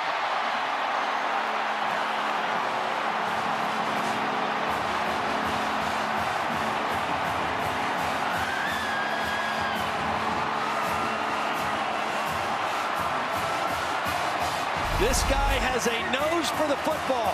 Now he's coming just on a run blitz, but he runs right into the path of the shovel pass. And DJ Uiagalelei just throws it right to him. But SirVocea, he does that. I mean, he is around the football. He's a playmaker. And that was as big a play as this football game has seen. Well, they survived the Uiagalelei fumble. But it didn't take much longer before they did turn it over. 50-yard return by SirVocea Dennis, officially an interception. The second thrown by Uiagalelei. SirVocea Dennis, junior from Syracuse, New York. Well, you saw just as we went to break, SirVocea Dennis summoned someone down to the railing to give her the ball. That's his mother, Corliss, who uh, during the TV commercial was in tears. Here's Will Shipley. Nice return for Clemson to the 30. Mrs. Dennis was a 10-year member of the United States Army. SirVocea's dad, Cervantes, 12 years in the Army. And there was a period back in 2003 where Mrs. Dennis and SirVocea thought they had lost her husband and SirVocea's dad. They received word that he had been killed in the line of duty while in Kuwait. Turns out he was shot and injured, but he had not died. But for about a week, they thought he had passed away. There's Tyson Phommachanh, who's in at quarterback now, taking over for DJ Uiagalelei. SirVocea Dennis very close to his parents. And uh, what an emotional moment that was. We thank Corliss Dennis for her service. So I guess not surprising on the quarterback change here, Todd. Uh, very ineffective delay again.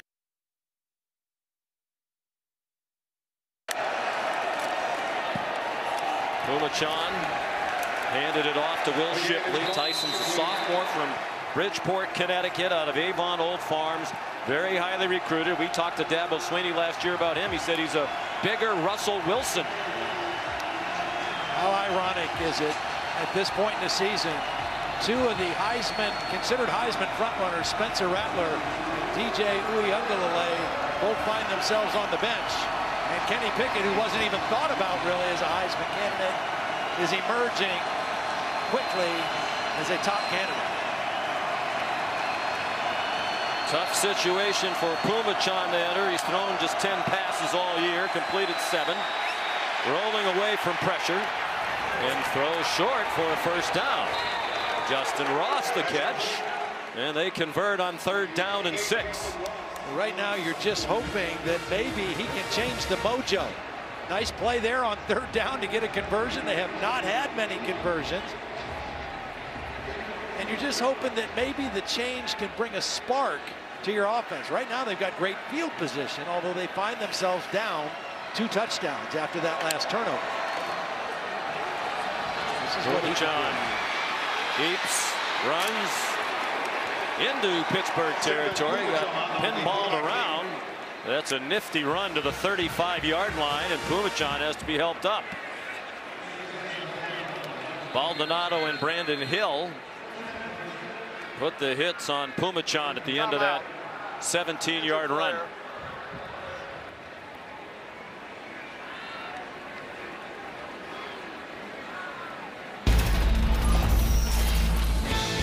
The timeout has been called.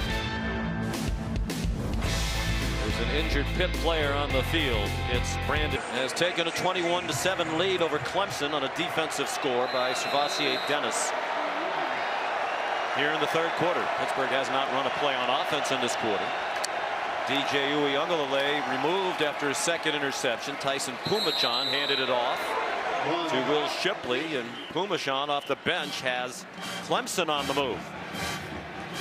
You know, that timeout that we were just away was an injury timeout for a Pitt player, but I think it really helped Phommachanh because he was slow getting up after that run, was able to go to the sideline, get some water, kind of clear the cobwebs a little bit and come out to resume this drive. Highly recruited player out of Bridgeport, Connecticut.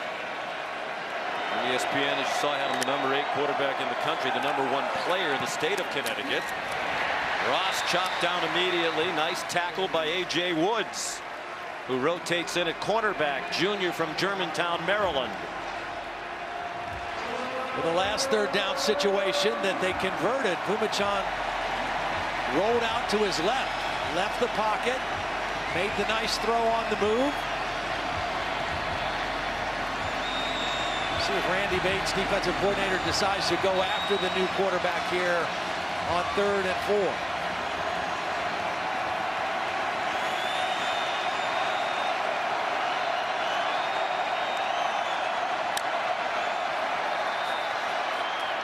Shipley far sideline first down Clemson as he slid by the defender and passed the line to make. Deslin Alexander made the tackle. Looked like Brandon Hill had a shot at him. Timeout. Injured player. It's Deslin Alexander. Saw the Clemson trainer indicating to the Pitt medical folks that it was his left shoulder. He's their starting defensive end. Another one of those veterans, a fifth year senior from Pompano Beach, Florida. Scholarship funds for every field goal and extra point made. Allstate will also be donating to the American Red Cross to help with disaster relief efforts. Thank you, Allstate. On first down, Phommachanh throwing for the end zone for Ross. And he caught it, but it looked like he was out of bounds, and he is. It's incomplete. This was a trick formation by Clemson. That's why they came out of the huddle quickly and snapped it quickly. You can see the foot out of bounds. The throw took him there, but that was the same kind of unbalanced line that Pittsburgh uses. And they snapped it quick, but it didn't fool the Pitt defense. Just a throw too far outside by Phommachanh. Is Shipley to his left at running back. The pass too quick for Beaux Collins. It surprised him and it was nearly picked off by Damari Mathis. Great pressure by John Morgan from the outside, number six. kind of forced that throw a little earlier than I think the receiver was anticipating it. Another third down play for Clemson's offense.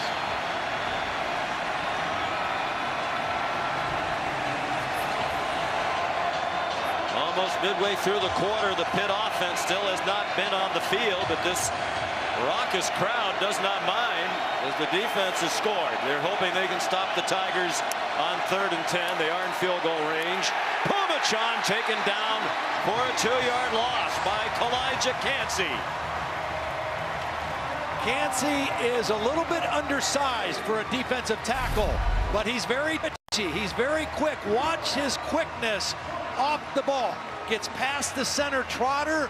The right guard can't cut him out, and he's into the backfield.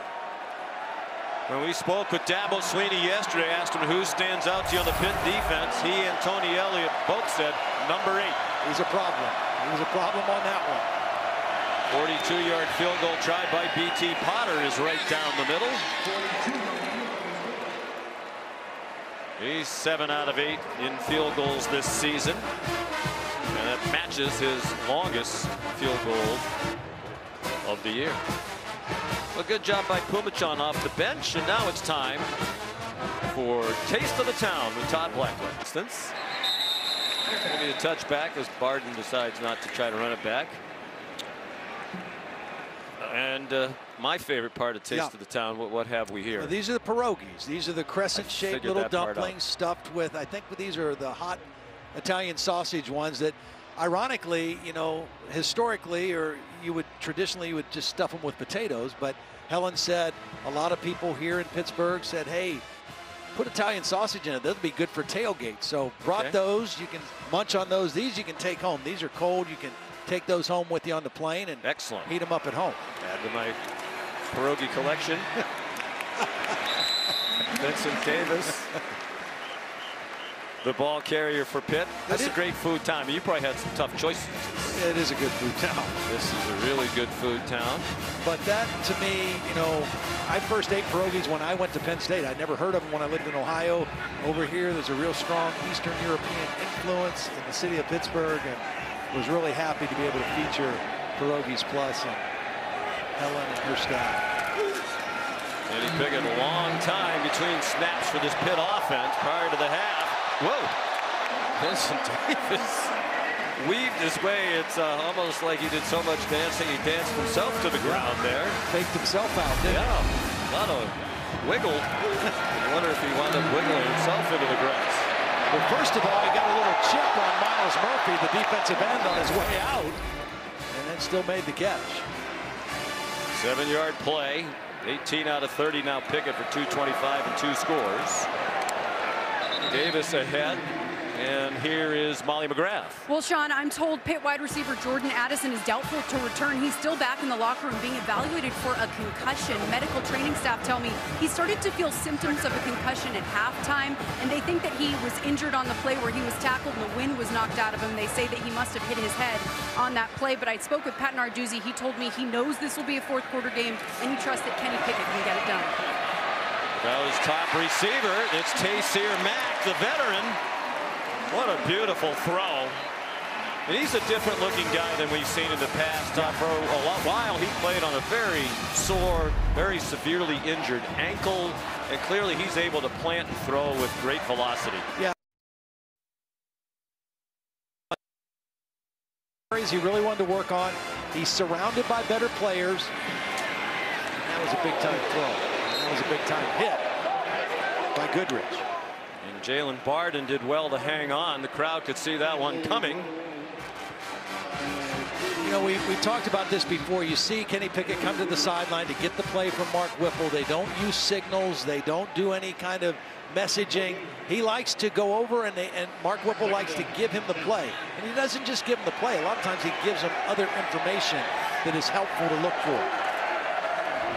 Pickett throws, caught. Good run after the catch. Melky Stovall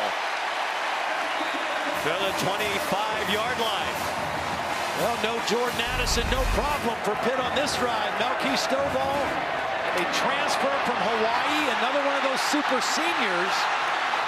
getting the most out of his college eligibility and excellent work after the catch. Booth in coverage, and that inside spin was huge. 22 yards on the play, 16 after the catch. Pickett. Across the line of scrimmage, runs out of bounds, flag down, back behind the line of scrimmage. Holding. Offense number 53. 10-yard penalty, still first down. Jake Kradel, redshirt junior, and he is the youngest of the starters up there in terms of college experience. The other four starters are all fifth-year seniors on that Pitt offensive line. You know, I don't think this was a hold. I, what happened was Kradel is right here, the right guard. He's going to be working on his man, and the center, who has nobody to block, is going to come over and hit the man. That's what knocked him to the ground. That was not a takedown by the guard. That was the center who was unblocked coming over to make help, and, and that's a penalty that went against Pitt. I don't think that was a hold. Matt Austin, our referee, nodding in agreement. Penalty is 10 yards. Previous spot. First down. I mean, you know, you can call holding on nearly every play with offensive linemen. I get that. But that was not a hold. That was the center who made it look like the guard pulled him down to the ground. Oh, Owen Drexel is the center, backed up the All-ACC player Jimmy Morrissey the last couple of years. Now on first and 20. Vincent Davis wrestled down by James Skalski. Kind of hovered over him for a moment. And the tight end Gavin Bartholomew came over to tell Skalski to get off his running back. This is the other thing that's different about this Pitt offense. They are much more confident in their running game in situations like this. They know they can throw it with Pickett. Here's the tight end Bartholomew. And a late flag thrown here right at the end of the play as he was being tackled. A freshman, big guy, 6'4", 260. Had a touchdown last week at Virginia Tech, first of his career. Foul, illegal block below the waist, number 22. 15-yard penalty, second down. We're going to go.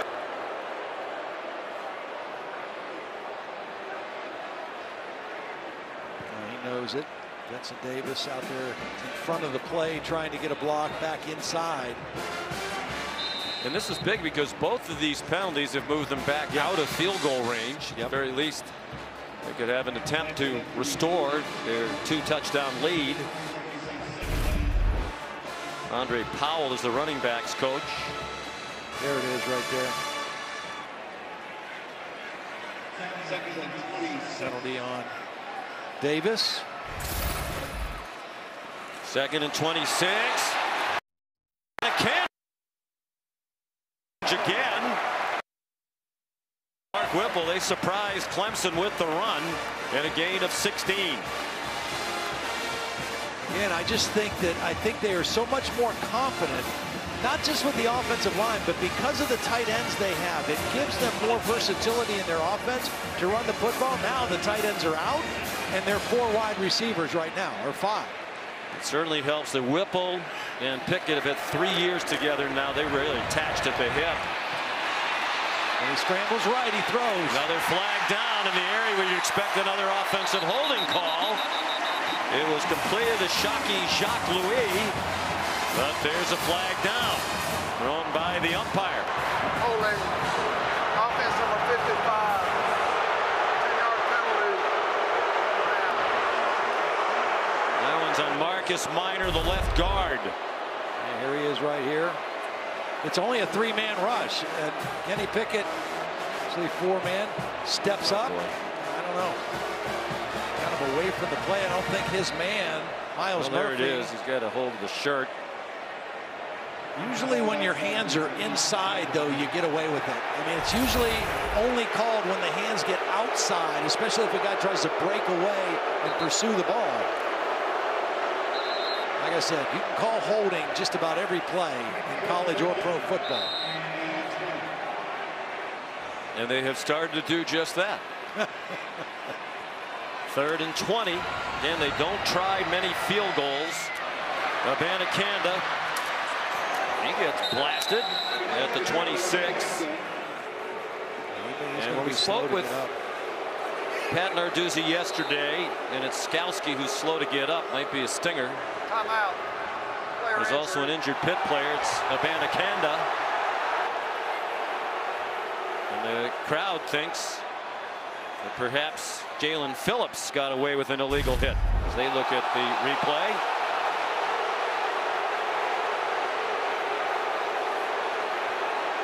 He's not a defenseless player because he's running with the football. He leads with the shoulder, but. Well, crowd thinks that should have been flagged. Let's bring in Matt Austin. What do you think, Matt? Well, I think Todd's exactly right. He is not a defensive player because he's not down yet. The hit came in. There was a little helmet to helmet, but it wasn't crowned. It was a little bit of the side of the helmet to the to the side of his. So he got his head out of the way. He did everything we asked him to do. Meanwhile, you have Abanikanda slow to get up and Skalski slow to get up. Two very important players. If Abanikanda can't continue, Pitt would be without its leading rusher and receiver without Abanikanda and Addison for the rest of this game. So we'll see if Pat Narduzzi elects to try a field goal on fourth and 10. When we visited him yesterday, talked about how the field goal situation's a bit unsettled.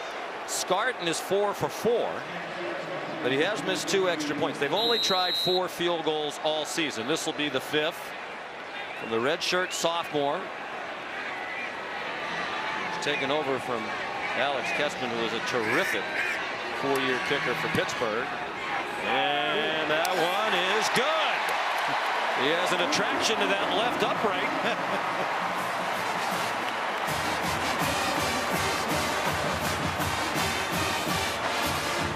think Mark Whipple's still aggravated about all those penalties that wound up bogging down the drive that ends in three.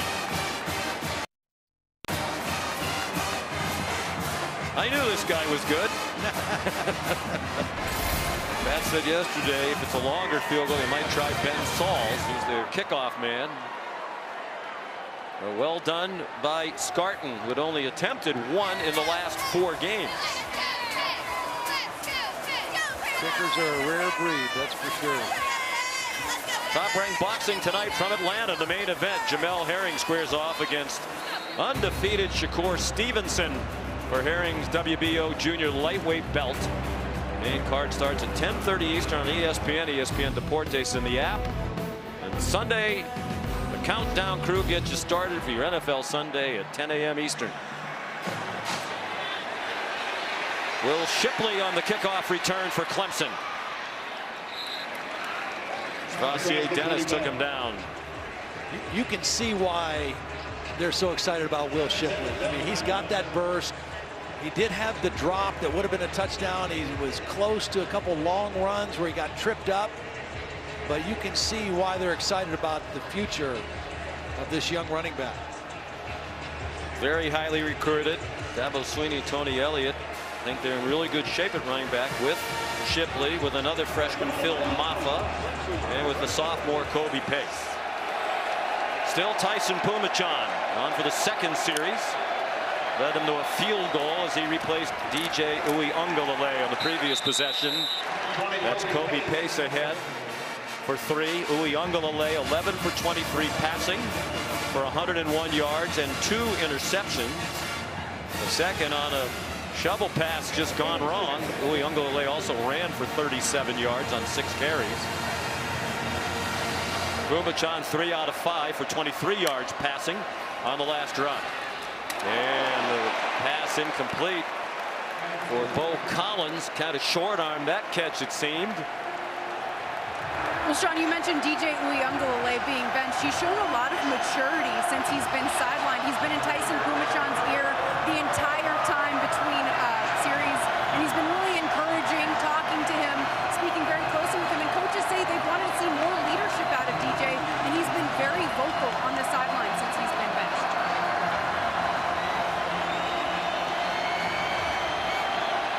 Final minute of this third quarter. Critical third down and seven for Clemson. Phommachanh lofts one up for grabs and incomplete. He's lucky it wasn't picked off by Erick Hallett. It was basically a punt yep. in the general direction of Ajou Ajou. Well, you know, that was not a good throw. Really no chance of completing that one. The play before, though, and you kind of made reference to it, the receiver's got to help him out. Mean, Beaux Collins short-armed that one across the middle. That would have been a conversion on second down, and they wouldn't even had to face that third down play.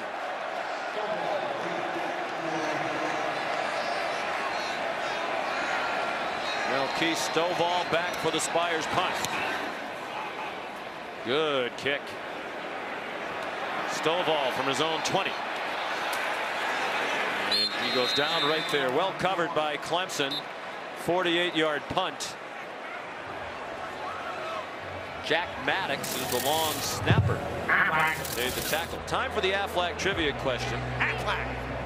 Well done, Todd. That was Todd, not a sound effect played from the truck. Pittsburgh has nine players in the Pro Football Hall of Fame. Clemson has just one. Who is it?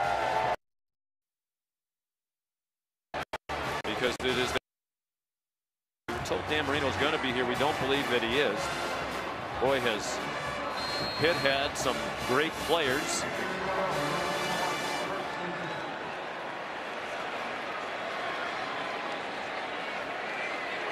One of those going into their Hall of Fame today, the Pitt Hall of Fame, Curtis Martin. Jackie Sherrill, the coach. You played against Jackie Sherrill. Well, should we give the folks at home time to look it up on Google? The Aflac trivia question. I guess we'll have to because it's the end of the third quarter and they're counting briskly in my ear. 24-10 Pittsburgh leads Clemson. Whatever first let's answer the Aflac trivia question. The one Clemson player who's in the Hall of Fame, the pro football version that is, Brian Dawkins. Great defensive back, 13 seasons with the Eagles, three with the Broncos, five all-pro seasons. Part of the Hall of Fame class of 2018. Todd Blackledge's town, Canton, Ohio. Here's Rodney Hammond in at running back. There without Abanikanda. So Hammond gets his first carry of the day, and it's a good one for a first down, a gain of 18. Really nice balance again. Only 96 yards rushing for Pittsburgh in the game, but it's been timely running. And this is the time of the game in the fourth quarter with the lead where you really want to lean on that run. Hammond again. He's a freshman from Norfolk, Virginia. Molly? Sean Pitt will have to win this game without their lead wide receiver and running back. Israel Abanikanda is out and is in the locker room being evaluated for a concussion. And as I reported earlier, wide receiver Jordan Addison also being evaluated for a concussion. Their two best skilled players around Kenny Pickett, who's having the kind of day that gets you even deeper in the conversation for the Heisman Trophy.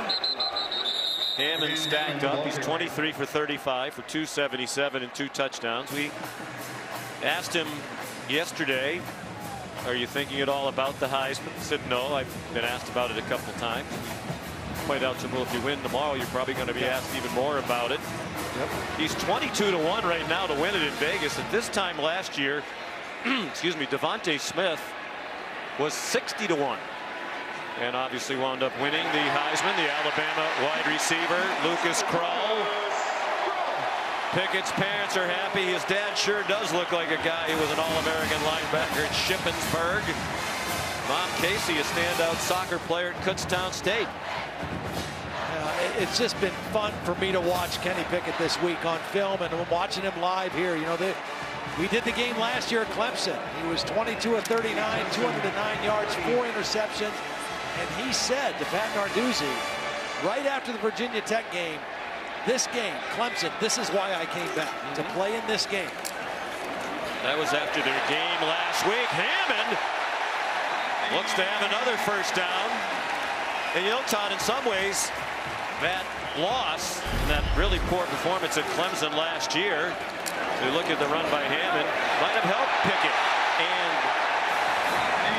Pittsburgh because had he played better in that game, right. he probably would have gone to the NFL draft. That was such a bad game. It certainly helped his uh, hurt his draft prospects, and it's a part of the reason that he decided to come back. Well, again, I think as a Heisman voter, for me, my main criterion is how do guys play in the biggest games, and this is the biggest game Kenny Pickett's played in. And how about Hammond off wow. the bench without a carry until this drive. He is leading them right down the field. Previous three possessions for Pitt against Brent Venables' defense. Touchdown, touchdown, and field goal. And at the very least, they're in field goal range again. We talked about the tight ends. Beautiful block on the end of the line by number seven, Lucas Krull, and then a lead block by Gavin Bartholomew.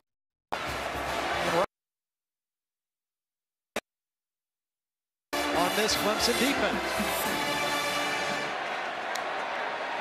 24 points, the most scored in regulation against Clemson this year. And of course, the penalty flag. Holding, offense number 57, Well, they've gotten just about everybody on the offensive line now. That's Gabe Hoy, the fifth-year senior from Pittsburgh, Upper St. Clair High School. Uh, they were in the tackle over, so he was actually lined up as the left tackle with Carter Warren lined up as the tight end and got beat on a quick first step and hooked the defender. That was a good call. They're back at the 25. They have a two touchdown lead and the clock is ticking here in the fourth quarter.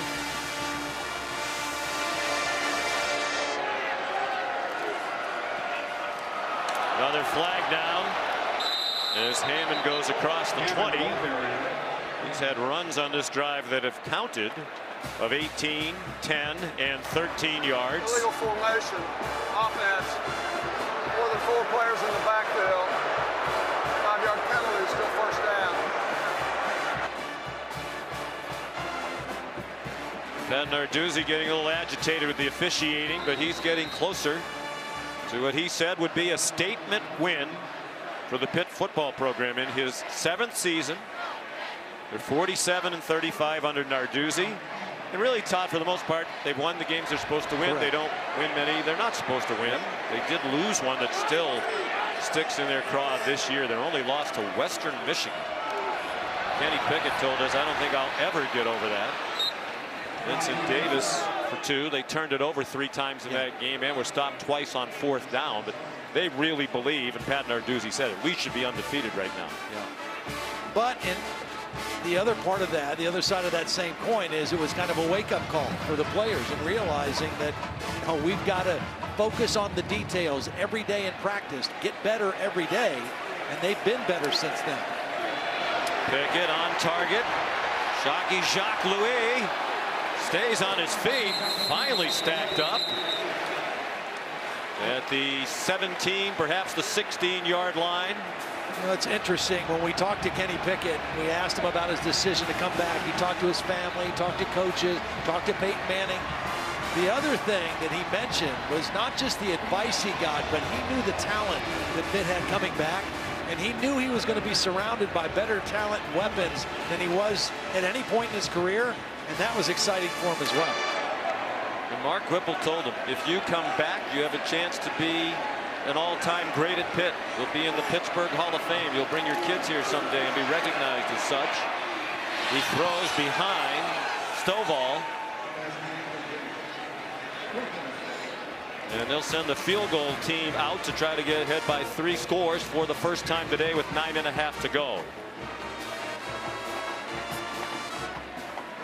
Sam Scarton, one for one today. Got a mulligan on a missed extra point on a Clemson offside penalty and made it on the second try.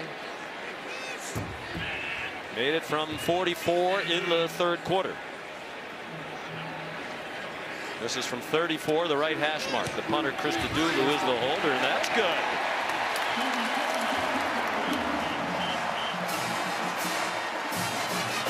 They're starting to feel it on that Pittsburgh sideline.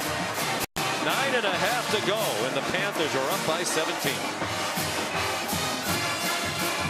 History-making day for Kenny Pickett, who passed Alex Van Pelt for most career completions in Pittsburgh history. Will Shipley brings the kickoff across the 25, and we send you back to Matt Barrie. Hello, Sean. Happy second half. Catching you up on things going around the country, including at the Rose Bowl. Oregon starting to look like the better team against UCLA 27-17. That one headed to the fourth quarter. Have an entertaining game between Iowa State and Oklahoma State.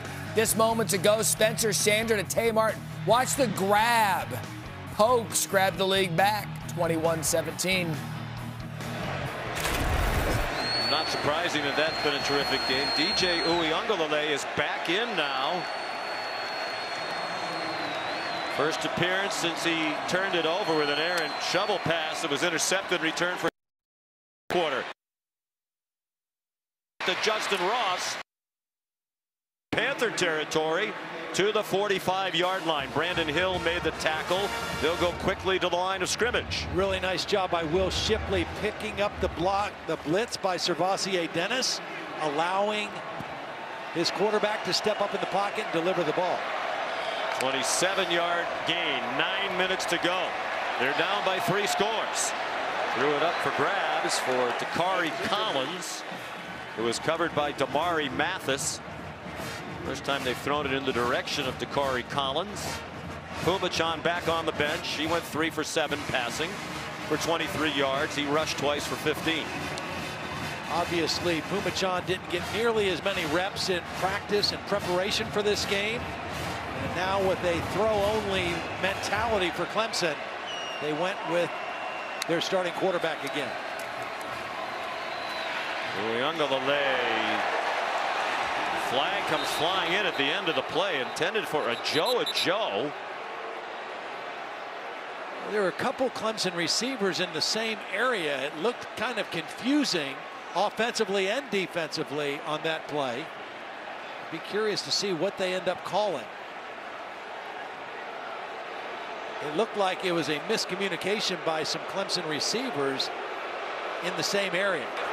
Pass interference. Defense, number 38. Penalty's an automatic first down. Spot the foul. Cam Bright, linebacker, called for the penalty. Cam Bright working over the slot. He pushed the receiver down, and there, when he hit Ajou, the first one was okay because the ball was not thrown. The second one was a penalty because the ball was in the air. Got his going to hit anything in his area. That's eight pit penalties for 77 yards. Clemson flagged four times. Uiagalelei too high.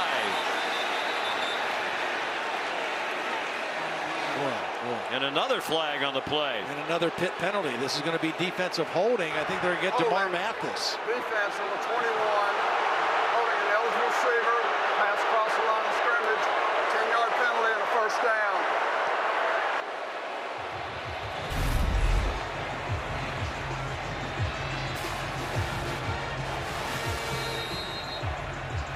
Again, this coverage that Pitt plays, they are going to get their hands on you. They're going to push and grab. And a lot of times it depends how they're calling the game as to how successful they're going to be on pass defense. Nine penalties now against the Panthers. Helping this drive along. Clemson moving quickly. Uiagalelei out of bounds, far sideline inside the 20.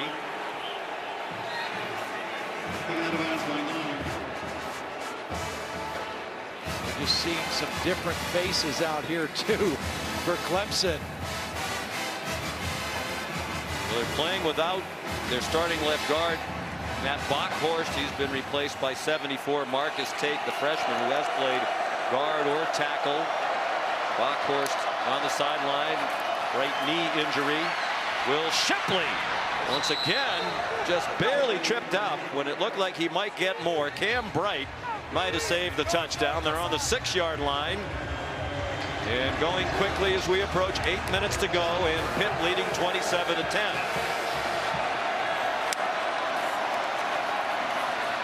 Great keep by Uiagalelei. Everybody in blue thought he had handed the ball off.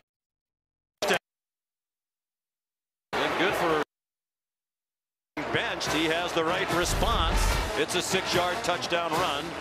Five plays, 72 yards. And watch this guy, this block. This is number nine, Jake Briningstool. He's not even on our boards. He's somewhere down the depth chart on tight end. He's in there this possession, gets a nice block and a nice play fake by DJ for the touchdown. B.T. Potter. Drive took just a minute and 34 seconds. Three pit penalties on that drive helped the Tigers cause. More driven. Pittsburgh lined up anticipating an onside kick. I, I don't think you onside kick it here.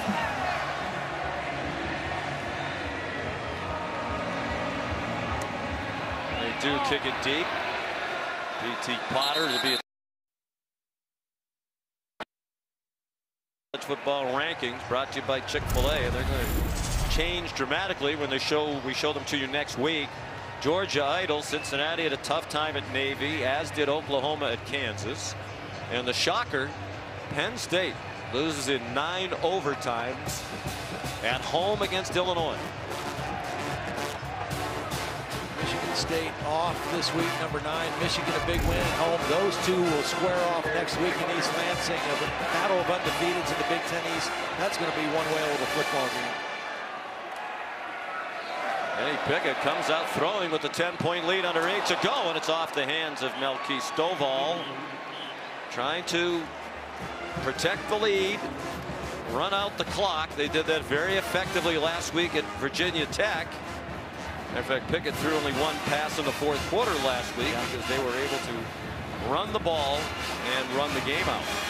They actually had a drive that lasted 11 minutes and 38 seconds. They didn't score, but they held the ball for almost the entire quarter. They don't have their leading rusher, Israel Abanikanda, nor do they have their leading receiver, Jordan Addison, both in the concussion protocol. Vincent Davis tackled by fellow number 22, Trenton Simpson. Clemson could get the ball back very quickly here, having scored in just more than a minute and a half on their last possession. Well, the thing you really want to avoid here if you're Kenny Pickett is a turnover. He's played turnover free today. They did have the one fumble by Lucas Krull after a catch. Remember, it was five turnovers last year in Death Valley that really were the difference in the ball game. Got to take care of the football. He has plenty of time. Now takes off running. Needs the 35. Dives for it. And will wait for the mark. First down. Nolan Turner went launching for him.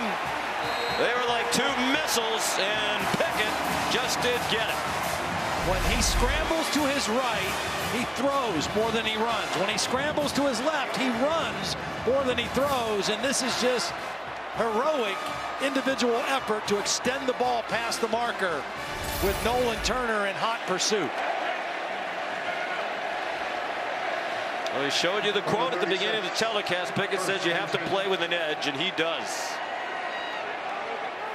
Great pocket presence, excellent scrambler. Rodney Hammond, who's been key here in the fourth quarter, who's seen very little action. More than half of his 32 carries this season entering today were in their route of New Hampshire when they won 77 to 7 every one of those first downs like Kenny Pickett just picked up just eats more clock off the you know more time off the clock. Mark Whipple knows that. Kenny Pickett knows it. And so does Dabo Swinney. We go back to the conversation about they don't signal the plays in. We asked Pickett, do you ever get tired? He said, yeah, sometimes I look at the GPS monitor at the end of the game, see how much running I did. Mark Whipple, who spent a lot of time in the NFL, believes they should go to the NFL system where the play caller can communicate right into the helmet of these college quarterbacks. One of the reasons he said he does it because teams try to steal the offensive signals, and Clemson's been alleged to be very good at that by opponents they have played throughout the years. Timeout, 5.40 to go, Pitt by 10. ABC, Ohio State, and Indiana. So here's third and two for Pittsburgh protecting a 10-point lead. On the previous two third downs on this drive, both converted. They've both been runs by Kenny Pickett, the quarterback. This time he handed it off. Vincent Davis gets the first down. Thrown down by Jalyn Phillips. But it goes to the 39, a gain of six. And they continue to run out the clock. Four minutes to go. Here was the dive where he beat Nolan Turner, the first third down conversion. Here was the design quarterback run, and then the last time he gave it to Vincent Davis. And, you know, normally when you see a quarterback whose uniform looks like this, you think he must have had a miserable day, getting sacked, getting thrown around. Not Kenny Pickett. He's got a dirty uniform because of the way he plays the game and the way he's willing to run the football. Davis straight ahead. Clemson has just one timeout left. And they'll use it right here with 3.25 to go. Timeout. Clemson, third. Final charge timeout. Look at Kenny. He wants the whole offense to come over for this last timeout, the last instructions. What Let's take a look at the day for Kenny Pickett from start to finish. Well, again, just reading the field, finding the matchups. He's got a lot of weapons. Jordan Addison, his favorite target. Played well early with that touchdown. Then he had to leave the game. This was the touchdown to Taysir Mack. Again, finding the right matchups. And then when his team needed it, the tough runs. That, that's the leadership and the personality and the edge that he plays with that makes guys around him want to play with him and play for him. I think he'd be in favor of the yeah, coaches so. being able to speak into the helmet.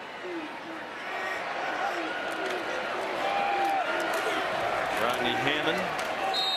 Speaking of which, what a great uh, week plus it's going to be for the Whipple family if this goes the way it appears it will. Mark Whipple, we talked to the other day, so proud of his son Spence, who's the assistant wide receiver coach for the Arizona Cardinals. You may remember that last week the Cardinals trying to stay undefeated went to Cleveland. Cliff Kingsbury, the head coach, also the play caller, unable to go because of COVID. So they put Spence Whipple, who never called plays before, in the NFL in charge. He had to learn how to use the coach to quarterback communication system. And what a job he did as they scored 37 points in Cleveland in a 37 to 14 win coach for his dad at UMass, and his dad is a terrific football coach, as we've seen again here today. Won a national championship at UMass as the head coach back in 1998, and now perhaps frustration for Clemson. Justin Mascoll being screamed at by Dabo Swinney. After the play, unsportsmanlike conduct, number seven, the defense, 15-yard penalty,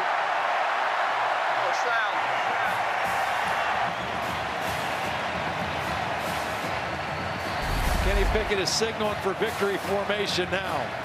Here's the end of the play.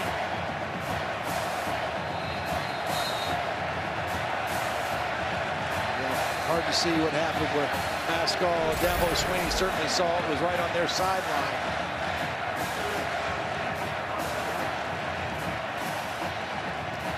now with a first down. Pitt may just take the knee. Now he did the little talk and the taunt, but can't take your helmet off either. So timeout. Pittsburgh, second charge timeout. Timeout will be 30 seconds. Well, uncharacteristic of Clemson. Yeah. They're losing their poise, hurting themselves, and you can understand the frustration for Dabo Swinney. Really, again, more of the same. Early in the game, they have a lead.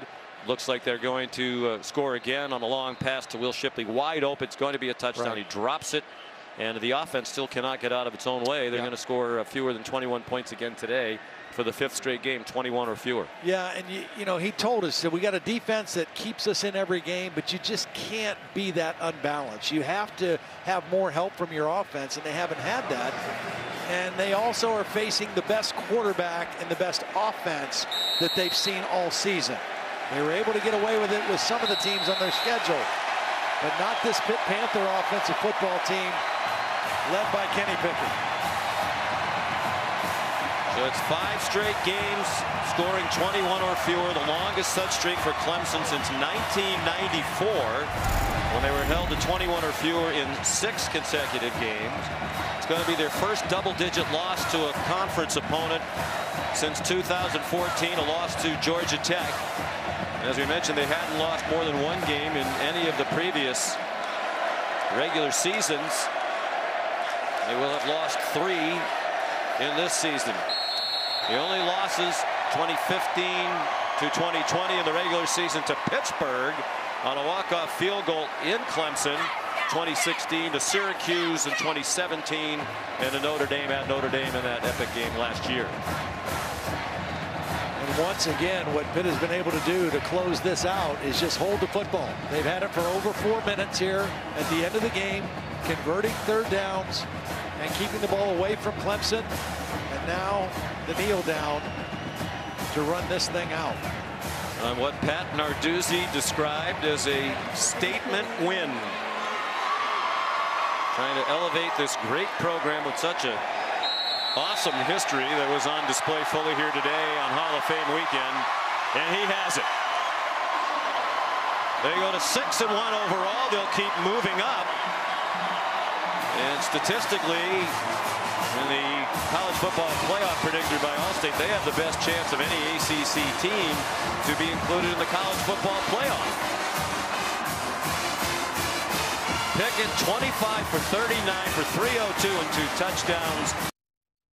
Run. Kenny, you told me the key to winning big games is wanting it more than they do. After your last two performances. Throw and catch. Presley, big one. And I thought whichever quarterback played better in this game would be a team that had a chance to win. Great throw by Sanders and an even better catch by Presley had six catches for 84 You're yards. wondering if the Oklahoma State defense can hold. Here's Xavier Hutchinson, nine-yard TD. Yeah, toe tap, great pass, great catch. Back and forth we go. Sanders to Tay Martin.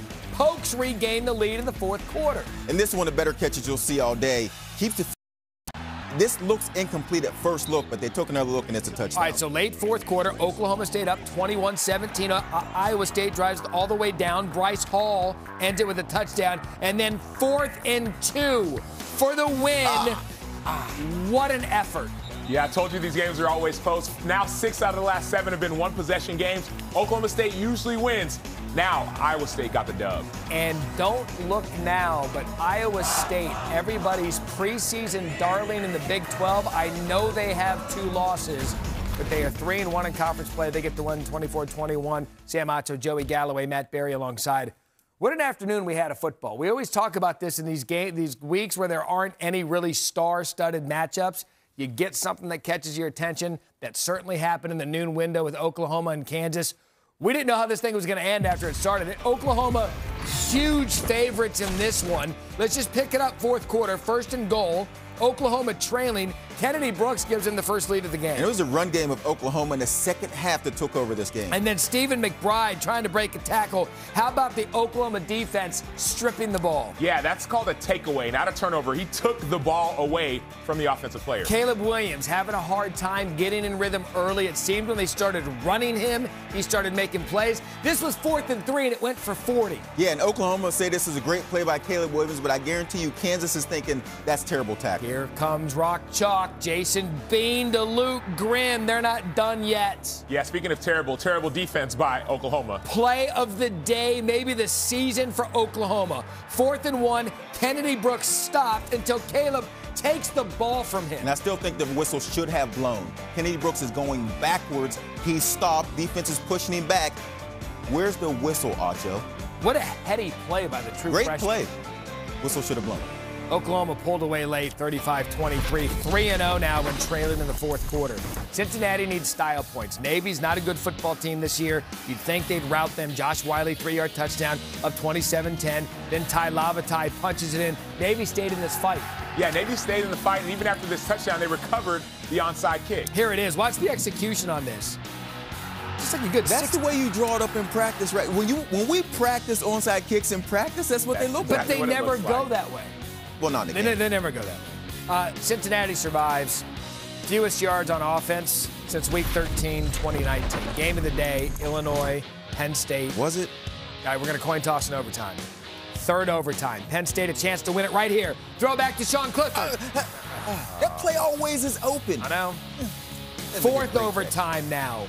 Artur Sitkowski rolling out. Throw, Throw, it. it. Throw, Throw- throw- Just throw. So Game of the day, huh? it was, well, Yeah, it's ugly. for the, the historical aspect of it. Execution wise, uh, Sitkowski got hurt. He would leave. We're in the eighth overtime. Isaiah Williams scores. So now Penn State has to score or they're done. Noah Cain ties it. Now, you're saying, how, why is the scoring like this? These are two point conversions, new overtime rules. Brandon Peters in, Casey Washington win. Number seven goes down. Penn State didn't play well all day. They gave up over 300 yards rushing. Usually only gave up about 100, over 100. It was bad. How about nine overtimes? They couldn't combine Game for 40 of the day, points. 20 to 18. Here we go. It was the game of the day. You know, your negativity right now is not helping Brian Robinson Jr. I had to sit through that. Who's stretching and getting ready for Tennessee.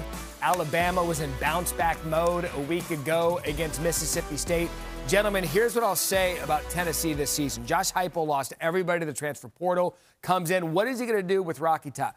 He's got them playing well. What can the Volunteers do at Alabama early on and maybe shake the tide? Well, of course, you get excited about Josh Heupel's offense, but this is more about Alabama. They're playing with their hair on fire. After that loss to A&M, it seems like they've been rejuvenated. It seems like a sleeping giant has been awoken. And Tennessee's gotten better at hitting the deep ball. And if they got a chance in this game, they better hit the deep ball because Alabama's going to score a lot. I, I believe you're 2 and 0 on predictions today. You're 1 and 1 before we toss to the game. Give me your predictions. But I'm going to ask for a score for this one. Alabama 37 to 20. 56-20 Alabama. 56-20. 56-20. Write it down. Lock it in. We'll see if that holds on college football final. See you at the half. 56? 56. ESPN welcomes you to the following presentation of the Southeastern Conference. You know, the question is, is can this become a part of who we are, or does something bad have to happen for us to respond in the way we need to respond? People at the university expect us to compete at a certain level. You know, we call it the Bama standard.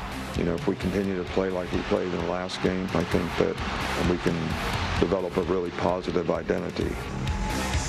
Yeah, we're all finding out together who Alabama is, but it looked like the Crimson Tide solved some of their questions last week in that win against Mississippi State.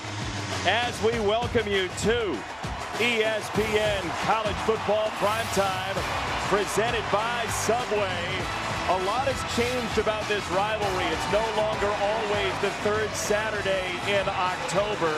They no longer play the Alabama home games in Birmingham like they did for years. But Tennessee doesn't win anymore. It's been 14 straight Alabama victories in this series. Jason Benetti, Greg McElroy, Katie George is downstairs. Tennessee stopped winning when you got here, first of all. Uh, but look, Bryce Young and Alabama are taking the field. Where is this offense right now? They're in a great spot. They're running the football more efficiently. The offensive line is coming together. But the straw that stirs the drink, as it's been all year, has been Bryce Young. The young quarterback has been exceptionally poised. He's been exceptionally accurate. And is in the driver's seat, according to many, for the Heisman Trophy. What makes him special, though, is he's mature beyond his years. The poise is absolutely off the charts, and the recognition of pressure. Some most quarterback, young quarterbacks, overload the protection, they get absolutely rattled. Not Bryce Young. Six guys rushing the quarterback, five blockers. So he's overloaded. He knows he's got to lose it. He does.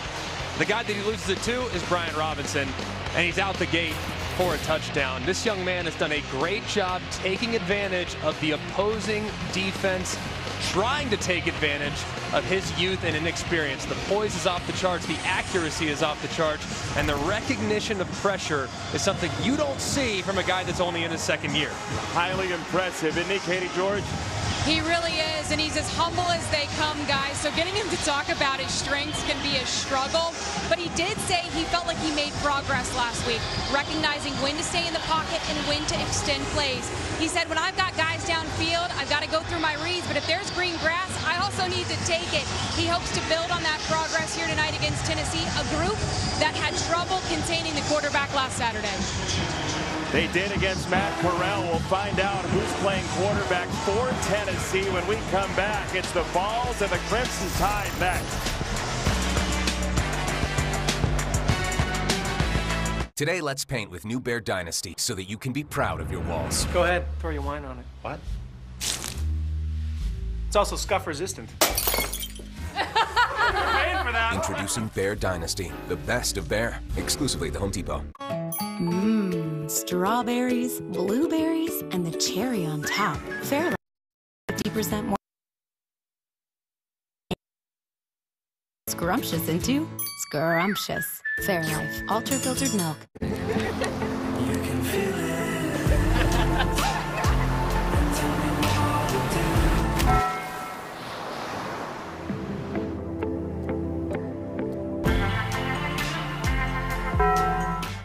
I need to pre-treat my laundry? Nope. With Tide Pods, you don't need to worry. The pre-treaters are built in. Tide Pods dissolve even when the water is freezing. Nice. If it's gotta be clean, it's gotta be Tide. Wow, it really turned out great. Yeah, and with the money we saved with Navy Federal Credit Union, it was practically free. You know, I can't imagine where we'd be without them.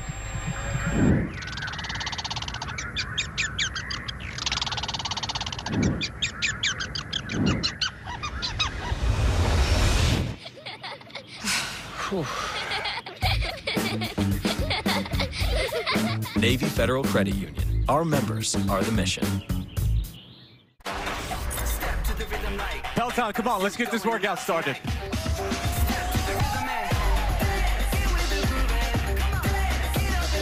Heart rate stays up. We're moving to the mat. Let's go, Peloton. Bring that thunder. As you rotate, exhale. We did it together, Peloton.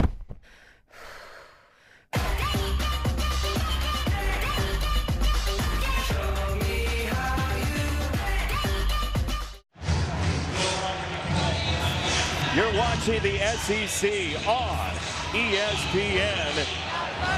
Soak it in, Bryant Denny Stadium in Tuscaloosa. Ranked teams have had big trouble today, Greg McElroy. We'll find out if Tennessee can provide resistance for Alabama. We saw Penn State go down. We saw Oklahoma State go down. We'll see if there's trouble in Tuscaloosa. And this Tennessee team has really made progress the last few weeks. The big plays have started to come. And if they can create some big play opportunities against a defense that has had their fair share of ups and downs, this could get testy here in Tuscaloosa. Off we go. Tennessee will have it at the 25-yard line. Hendon Hooker into play quarterback for Tennessee, Katie George. Yeah, Jason, and there was certainly some concern throughout the week based on Hendon's availability, but Josh Heupel told me on Sunday he moved around a decent amount, which was a good sign, and then that movement just progressed throughout the week. And what a difference six days make, guys. Check this out. During warmups, he was doing his best Odell Beckham Jr. impression in the back of the end zone. I asked him how he's feeling. He said, I am all good. He didn't have to say that to you if he's jumping like that. I would say picture's worth a thousand words, and I'd be willing to say that he looked pretty good. Really fortunate, too, because it looked scary last week, and he's been a big reason for why Tennessee's moving in the right direction offensively. On first down, it is a run. It's Jabari Small, the sophomore out of Memphis. If you haven't seen Tennessee play, you're going to see about three plays a minute. They play very fast. First pass, Velus Jones Jr. on the outside. They love getting him the ball quickly, and it'll be third down and short. Then getting him started, getting him involved early, but a critical third down because they really start to hit their tempo after they pick up that initial first down in the offensive drive. These are both fantastic third down converting teams. 50% or better, both of them. And that's going nowhere.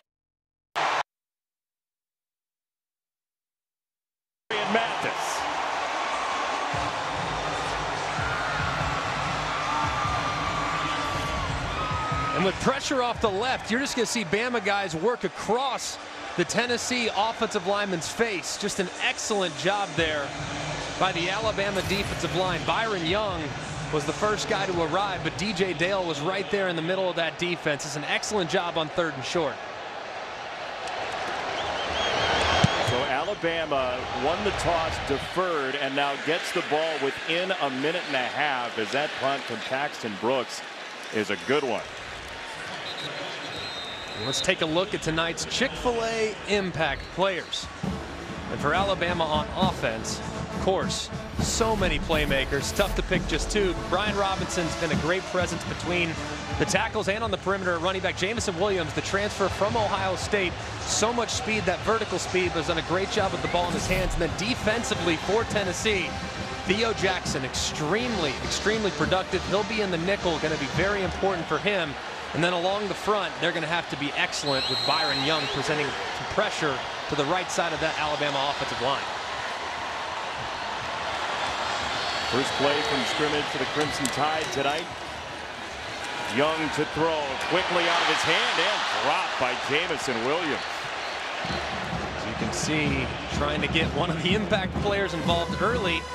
Ball thrown early there. Good anticipation from Bryce Young. And as Jameson Williams gets his head around, just can't locate the ball quick enough, and it results in an incompletion. These Alabama receivers are so good after the catch. Might have been thinking about turning it upfield at second down. Right back into his hands. Jameson Williams on the outside, and he is clipped. Very short run for Jamison Williams as that's Hatton on the outside the stop. You see Bryce Young, not the biggest guy in the world, but extremely accurate, very decisive, and for a young player, does a really good job when he breaks contain, when he gets outside the pocket, remaining in a passing posture. That's when the big plays happen. Passing posture, meaning? Meaning always ready to throw, regardless whether or not he's on the move.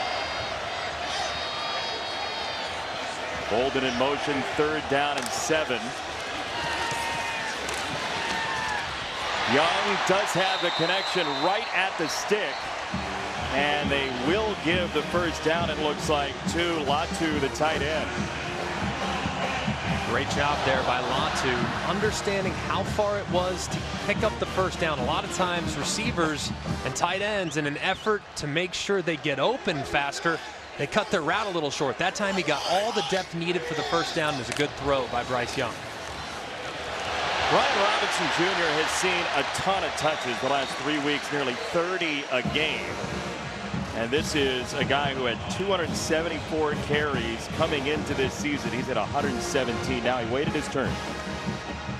He had some great ones around him, but he's transformed his body and has become more versatile at running back as opposed to just being the power downhill runner that he was the last few seasons. Local product from here in Tuscaloosa, Hillcrest High School, about 15 minutes south of the stadium as Theo Jackson, one of your impact players, got in third down.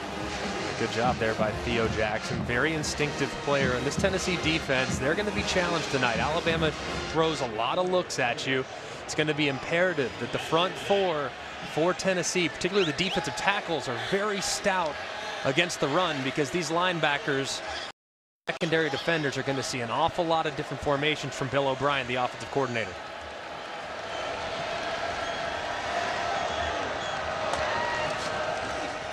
Young on third down. Loads of time for Young. And he threw him open. Billingsley over the shoulder, first down. Jahleel Billingsley is down after that catch. Such an important weapon for Alabama. He is, and hopefully he's okay. Looks like he's grabbing at his right arm. Landed kind of awkwardly as he made the back shoulder catch. We'll step aside as they check on Billingsley. Opening drive for Alabama. First down when we come back. Jeremiah energy is everything. I was like, somebody needs to see this awesomeness I get every time I go to Chick-fil-A. She said, can I record you? I was like, of course. You have an awesome day up ahead. All right, thank you. Chick-fil-A. The next thing you know, it was like, boom. People that never even been to Wilmington that wanted to come to Chick-fil-A to meet Jeremiah. I always have my uh, like mindset, like I'm on a mission. I'm here to make today the best day ever. You definitely have to experience him serving you with a purpose.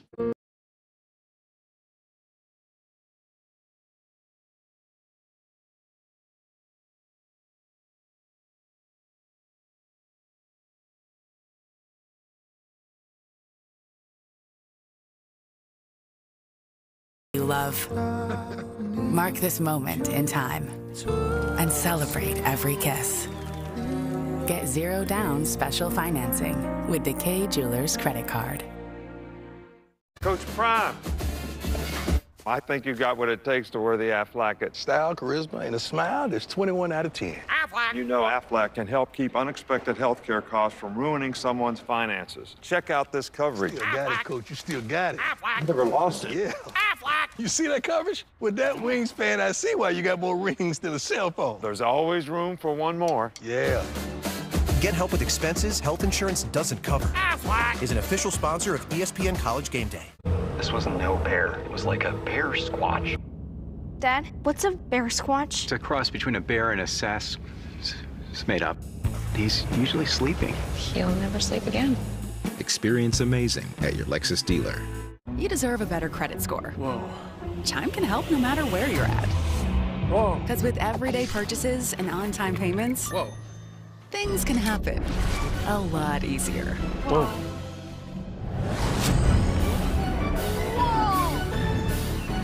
Whoa. Whoa. Whoa. Oh, you deserve some credit. Whoa.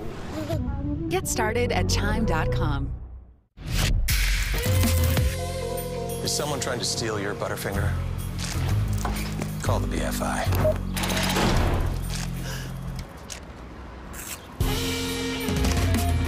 Lays a finger on your Butterfinger.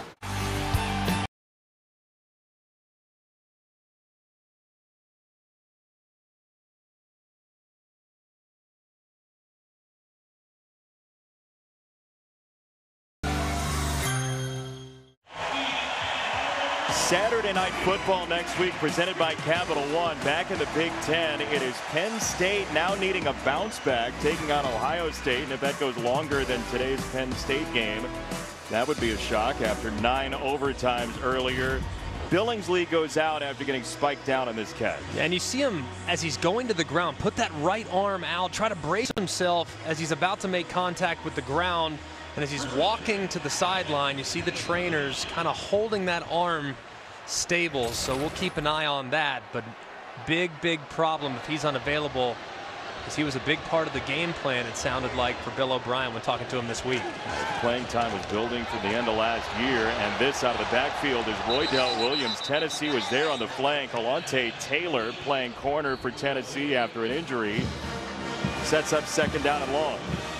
This Tennessee defense, while the offense has garnered an awful lot of praise, understandably so too, they're a high-flying group, or at least they were the last few weeks. This defense has made some strides too. They've been much better in the front seven than anticipated, and Alontae Taylor on the perimeter leads what is a very physical secondary. Yeah, that defense in the second half last week against Ole Miss kept them in the ball game. Young to throw on second down to the outside, and Bolden, who tiptoes down the edge. Tennessee's coaching staff is pointing at the sideline where they think the shoe was for Bolden. And they'll look at that. Good job by Bryce Young getting to his outlet as he got through his progression. A good job, too, by the protection of Roydell Williams picking up Banks during the internal pressure. And let's take a peek. Ooh, that left foot did look like it was a little bit closer. Yeah, he might have gotten a bonus yard or two there. Not much. Opening drive tonight for Alabama. Third down and six for Young. Time again with some touch. First down, Jameson Williams across the 40. Alabama three for three on third down as a marker has come in at the end of the play. Personal foul. They go hands to the face. Defense, number nine. It's a 15-yard penalty added to the end of the run. An automatic first down. Tyler Baron, the defensive lineman. You're going to see Baron as he's working. You'll see that hand to the face mask right there on the right side of your screen. Working against Brian Robinson, who's in protection. Really nice throw there. And unfortunate there for Tennessee. The pass rush was almost home, but Jameson Williams makes a play for the conversion.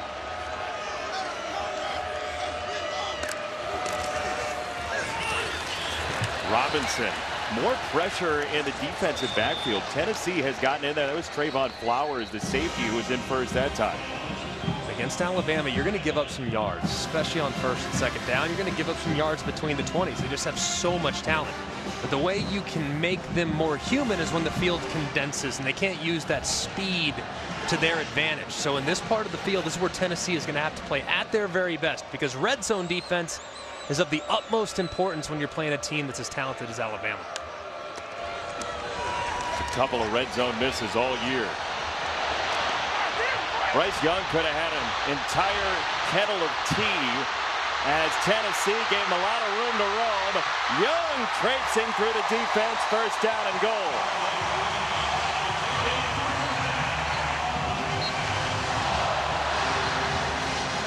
As you can see his parents looking on, loving what they see.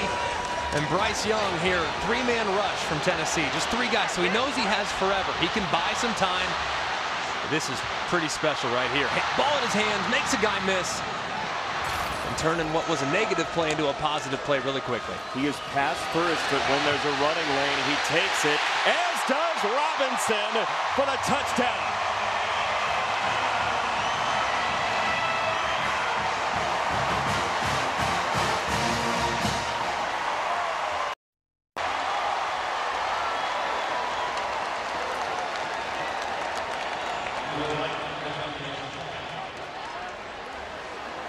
Look, there's been a lot of talk about should Bryce Young run more? Should he use his feet more? He has always been, even going back to youth football, the guy who wants to pass first and not take what he thought when he was young as the easy way out to run the ball. He had it, he took it, and he set up an Alabama touchdown on a 12-play drive after the defense got him the ball quickly. Impressive stuff from the Tide. 7-0 Alabama.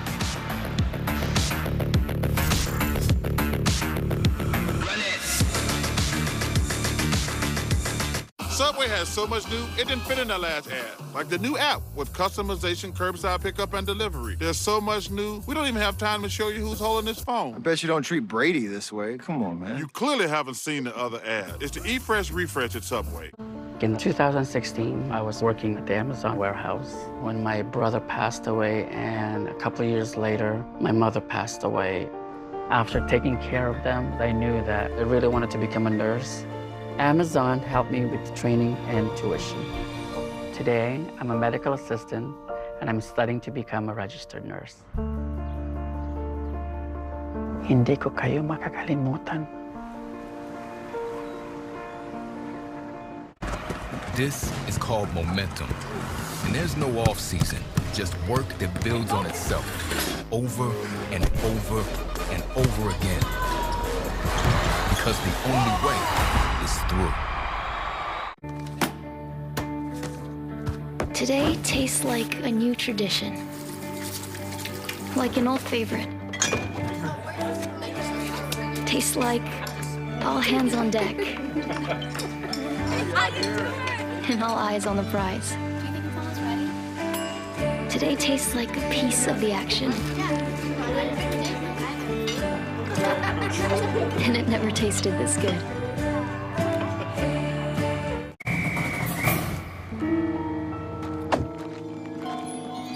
Is this? Is that a hairball?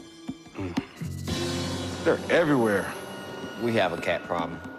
Gentlemen, the Heisman House is getting a dog. Go show those cats who's boss. Well, that didn't work out well. Bogey's on your sixth limo. They need customized car insurance from Liberty Mutual, so they only pay for what they need. We are not getting you a helicopter. Only pay for what you need. Liberty, liberty, liberty, liberty. Stop dreaming. With Rocket Mortgage, you can use your home's equity and make that renovation a reality. When you're ready to turn your home into your dream home, Rocket can. Rocket. ESPN College Football Primetime is presented by the Eat Fresh Refresh at Subway and in part by Liberty Mutual Insurance. Only pay for what you need. This is a long-standing rivalry, a great rivalry, and some of the wonderful program covers, old school face masks. We got everything here. It's fantastic. I mean, look, this rivalry has been so streaky, though. You know it. Uh, 14 straight for Alabama. Right before that, Tennessee had won 10 of 12. And I will say they've now outscored the first Tennessee win in the series back in 1904. It was 5 to nothing. Figure couple CNI pinch hits in that, in that first game between the two. There was a great sack fly in the seventh. 25-yard line for Tennessee. Into the studio, Matt Barrie. Good evening, gentlemen. Happy SEC Saturday. This just wrapped up at the Rose Bowl. Ethan Garber's in. DTR was hurt, was moving UCLA down until he was picked off by DJ James. Oregon survives 34 31. How about Walton on game day? I thought it was going to be like 12:45 Eastern when they finally got it to the game. Direct to receiver, Dorian Thompson Robinson. Uh, Seven uh, nothing Alabama. Tennessee needs a first down here, wouldn't you say? Very much. Out of the backfield, Jabari Small, and he is very close to the line to gain. Josh Heupel in his first season at Tennessee and look, he's trying to rebuild this program that's been through five coaches in the last decade and a half. He's done a great job. I mean, it was a difficult circumstance that he walked into. Thin roster, guys leaving into the portal. He's got them together now, and the offensive culture is being established. This is small, and he has wrestled back. Will Anderson Jr., who absolutely exploded last week, was not going to let him at the line of game. You referenced it a second ago. This Tennessee offensive line not at 100%. Running it between the tackles is going to be very difficult. Third and one, Hendon Hooker pops it over the top for Small down the sideline. And Hendon Hooker roaming okay. He got hit pretty well that time, Greg. Yeah, he did. That was a great job of making the defender commit. Watch him make the defender come up. Ooh, be careful there if you're Malachi Moore. This is incomplete. Yeah, he did launch a little bit with the shoulder. Didn't make the forcible contact to the head as it's second down for a hooker in Tennessee. Malachi Moore got tossed early in the Texas A&M game, and that was a huge turning point in the game. That time, he did have the upward thrust, but he missed, fortunately for Alabama. But that was a great job by Hooker bringing the defender in. Long ball down the sideline from Hooker, and he's got it to Cedric Tillman for a first down and a huge gain.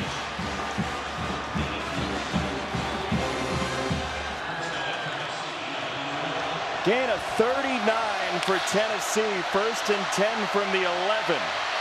Hooker, end zone, incomplete for Fant, the tight end. And let's go back to that big play. Working these slot go balls. This time, he gets Tillman behind the defense. Ball slightly underthrown. A better throws a touchdown as he got behind Daniel Wright, but a great job by Tillman, high pointing the football and making the catch. The rare long ball hit this year for Tennessee, as this is Tiyon Evans back from the ankle injury. There have been a lot of misses downfield for Tennessee. That can change the game if they can hit on those. Absolutely. It's left so many plays on the field in the first few games, but that's been why the offense has come alive. Those long balls have started to connect. Third and seven.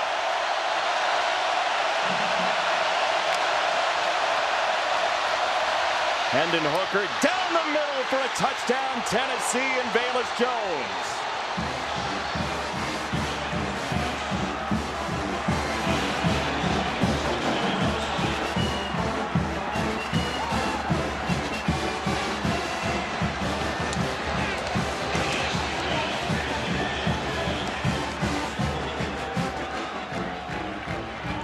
Great answer from the Tennessee Volunteers.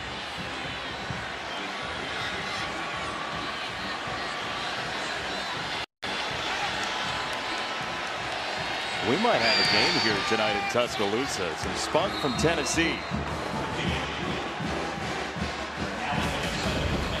Velus Jones finds a perfect matchup. He has the safety outside. He breaks it in. Hendon Hooker finds him. And the Volunteers have life here in Tuscaloosa.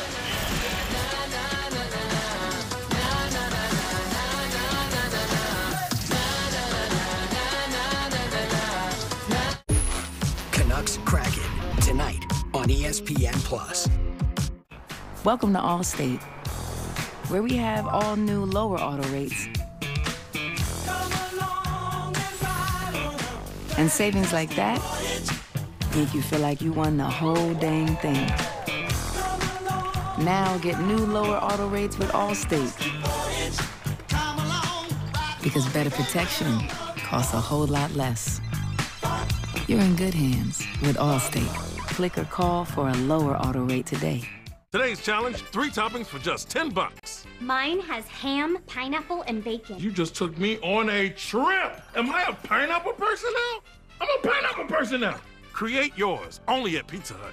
No one out pizzas the Hut. You know, if we take that wrapper back to the store, it can be recycled into other stuff. Well, I want my wrapper to be a hang glider! How about a park bench? Dad, you need to think bigger. Recycle your specially marked Crunchy Bar wrappers in store now. The leap of faith. Some hesitate, but not you. You don't ask what if. You embrace what's next with open arms. You don't question your decision. You double down. Because you know the thrill is worth it. Introducing the 2022 Telluride Nightfall Edition. Here in California, we believe in what if. After all, if is our middle name. What if we get up the moon and the stars? Here we welcome all what ifs with open arms. After all, there's only one wrong way to what if. What if you don't?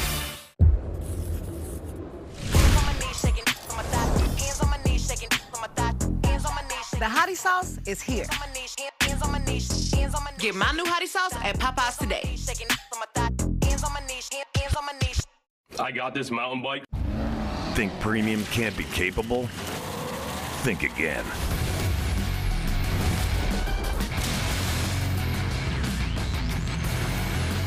Introducing the first ever AT4 lineup. Premium and capable. That's professional grade from GMC. Get 2000 purchase cash on 2021 Sierra Light Duty Crew Cab models. Plus, current eligible GMC owners get an additional 250 purchase allowance. Gas station approaching. Can we make it on one tank? Running capabilities. Dad? Guys, I filled the pickup truck with Amoco Ultimate. We'll go up to 25 miles further per tank in highway driving than with regular fuel. We're gonna make it. We're gonna make it! Up to 25 miles further per tank with Amoco Ultimate. Available at BP and Amoco stations. And you could get 5 cents off every gallon with BP Me Rewards. We're back in Tuscaloosa where the Vols just tied it up at seven apiece and head coach Nick Saban was unhappy with the coverage on that last touchdown. He beelined over to the defense on the sideline here for Alabama. He exchanged words with Malachi Moore as well as Jordan Battle. It got heated, but then he ended by applauding them, asking them to refocus and get back in the coverage. I will show you in just a second after this kick because it was really poor alignment from Alabama. Jameson Williams back to receive. How poor of alignment? Oh, when you have outside leverage of a wide receiver, there has to be someone in the middle. Unfortunately for Alabama, there's nobody in the middle. So where does Tennessee work? That vacated area. If you have outside leverage, that means there has to be someone that you're funneling the receiver into. That time, no one there for Alabama. Easy pitch and catch from Hendon Hooker. And a great drive and a response from Tennessee taking advantage of the misalignment of Alabama. That's the tempo. That's what tempo can do. It can get you out of alignment. You can get some cheap ones. It's exactly what Tennessee took advantage of there. Nick Saban talked about the rhythm that he feels like football players get into and how that tempo breaks the rhythm. And an open look for the touchdown as Alabama gets it back for its second drive of the ball game. Robinson spiked down after a short gain, just a couple of yards. Young man who, again, the amount of carries has grown in a major way, but he was a star here in Tuscaloosa. 447 yards in one game at Hillcrest High School down the road apiece, and he's been a major part of this offense last couple of weeks. Very much so, and A lot of people wondering if he would be the bell cow that he's turned into, and man, has he answered the challenge. Young climb to the pocket, spits it out. He has Latu, the tight end, across midfield, and a first down, Alabama. Now Latu's down, so Billingsley already out. Latu is injured for Alabama. Two tight ends in the first nine and change in this game have gone down. They do expect Billingsley to come back at some point tonight as they check on Latu.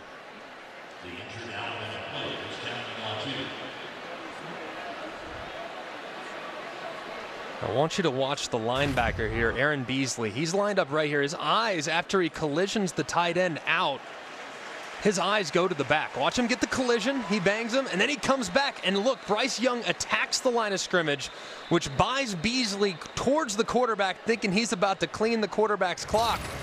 Boom, Bryce Young spits it out to the tight end with a lot of green grass. Just excellent job there by the quarterback, but hopefully Latu can be okay. He has been huge as an end man on the line of scrimmage, not just receiving the football, Jason, but also providing necessary protection on the edges when the tackles are struggling.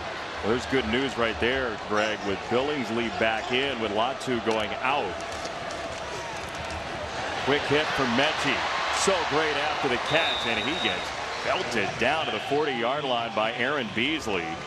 How advanced is the vision of Bryce Young and his decision making? He's like a point guard, man. He just has unbelievable peripheral vision where he can just see guys without looking at them. Not Mahomes like no one's that level of freakish of nature. that guy's unbelievable. But Bryce Young has some of those tendencies, and in time, those instincts will develop.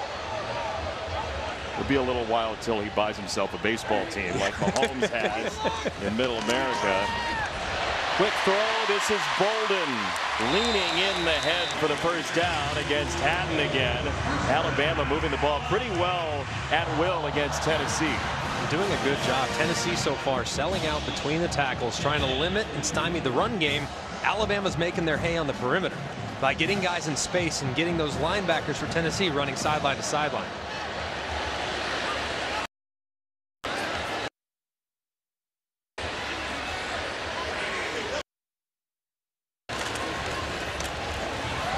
Robinson, a little hesitation. So with that, with Tennessee running sideline to sideline, what's the fix for Tim Banks in Tennessee? It's not easy because when you think about what Alabama forces you to do with their RPOs and some of those other things, you can't really play a lot of zone coverage against them because they're going to take advantage of your eyes being in the backfield. So the way you neutralize RPOs is by playing more man-to-man -man coverage. So when you're in man and you're still running sideline to sideline, that can get very tricky because of the misdirection. This is Matthew Butler, the senior out of Raleigh, who is down. He had a big game against Ole Miss. A couple of sacks, forced a fumble as well. He would be a big loss for the Volunteers. Hopefully he's okay because this defensive line and they've done a great job too, but they are not outrageously deep. So they need to stay healthy as much as anybody in the entire SEC. Yeah, they're thin everywhere. Every Saturday, Marty and McGee at SEC Nation bring you extensive game previews in the SEC. Some guests that you might not find anywhere else. Sometimes they're having fun in a cornfield, evidently. Uh, they'll be in Jacksonville for Georgia and Florida next week. Coverage starts 9 a.m. on SEC Network and the ESPN app. I know there's plenty of cornfields down here, but when I think cornfield, I think Iowa. I don't know. It's probably Field of Dreams. Yeah, I. Uh, you think I, they were up there in Iowa, perhaps? It looked like it. Uh, it, Frank Thomas now owns the Field of Dreams. Is so that true? Had, yeah, he just bought it wow. a couple of weeks ago. He bought it from Kevin Costner. He did well from a holding company. I think. Ah, gotcha. Yeah. Okay. Yeah, yeah, Kevin Costner said he'd never sell in the movie, so I'm just a little bit thrown off by that. Greg, we've not worked together a lot, but I have to tell you, don't believe everything you see in the movies. Understandable. Will Ferrell is not actually an elf. Wait, hang on. But he knows Santa. He does. Yes. Second down and nine for Alabama, under four to go. Quarter number one. Butler has come off.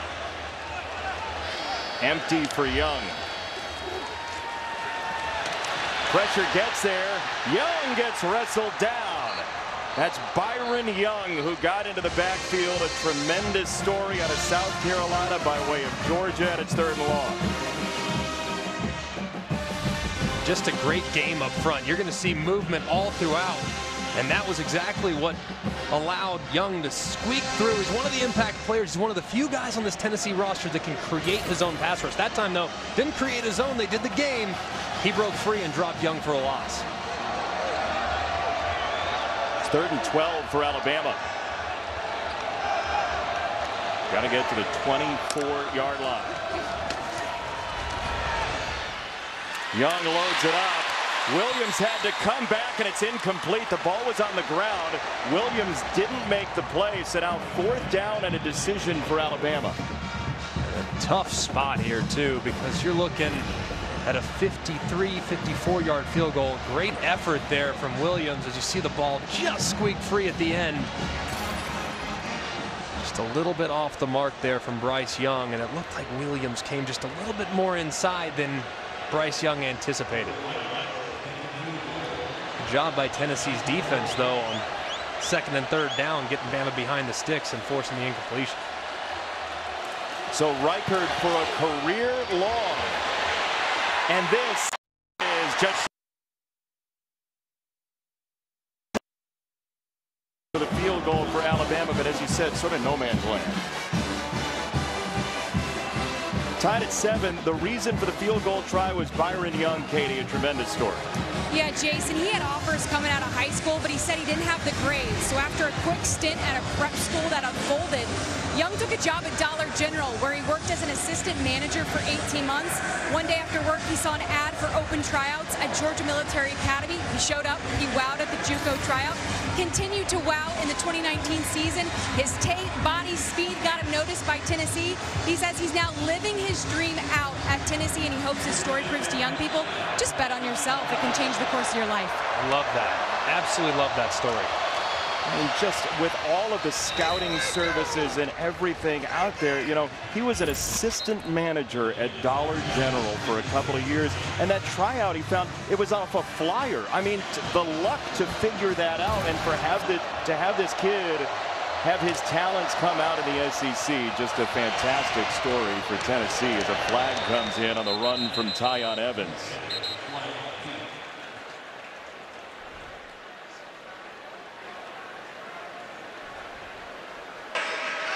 Personal foul, top block, offense number 75 and number 58. It's a 15-yard penalty, still second down. We've talked about how thin Tennessee is in a couple of places. Offensive line is certainly one of them. They're without their right tackle, Cade Mays. That was Jerome Carvin on the penalty. Yeah, and this is a difficult spot, too, especially without Cade Mays. Maybe your best pound-for-pound -pound offensive lineman. Him being out and Dane Davis being in the lineup. Extremely difficult for Alex Golesh who has to be very thoughtful with his formations because Alabama with Will Anderson on the edge working against a backup tackle, that's a problem for the Vols. And a marker comes down. There's going to be a false start against that offensive line.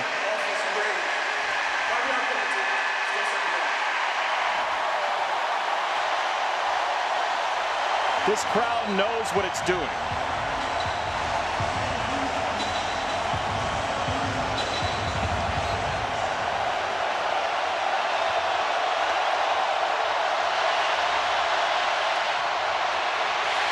First door was closed. Hendon Hooker chased by Anderson who got the first hit and Christian Harris cleans it up. Nick Saban told us Christian Harris has to play better. That's a start. Most certainly was, and a great job, too, by Will Anderson. As Tennessee way backed up.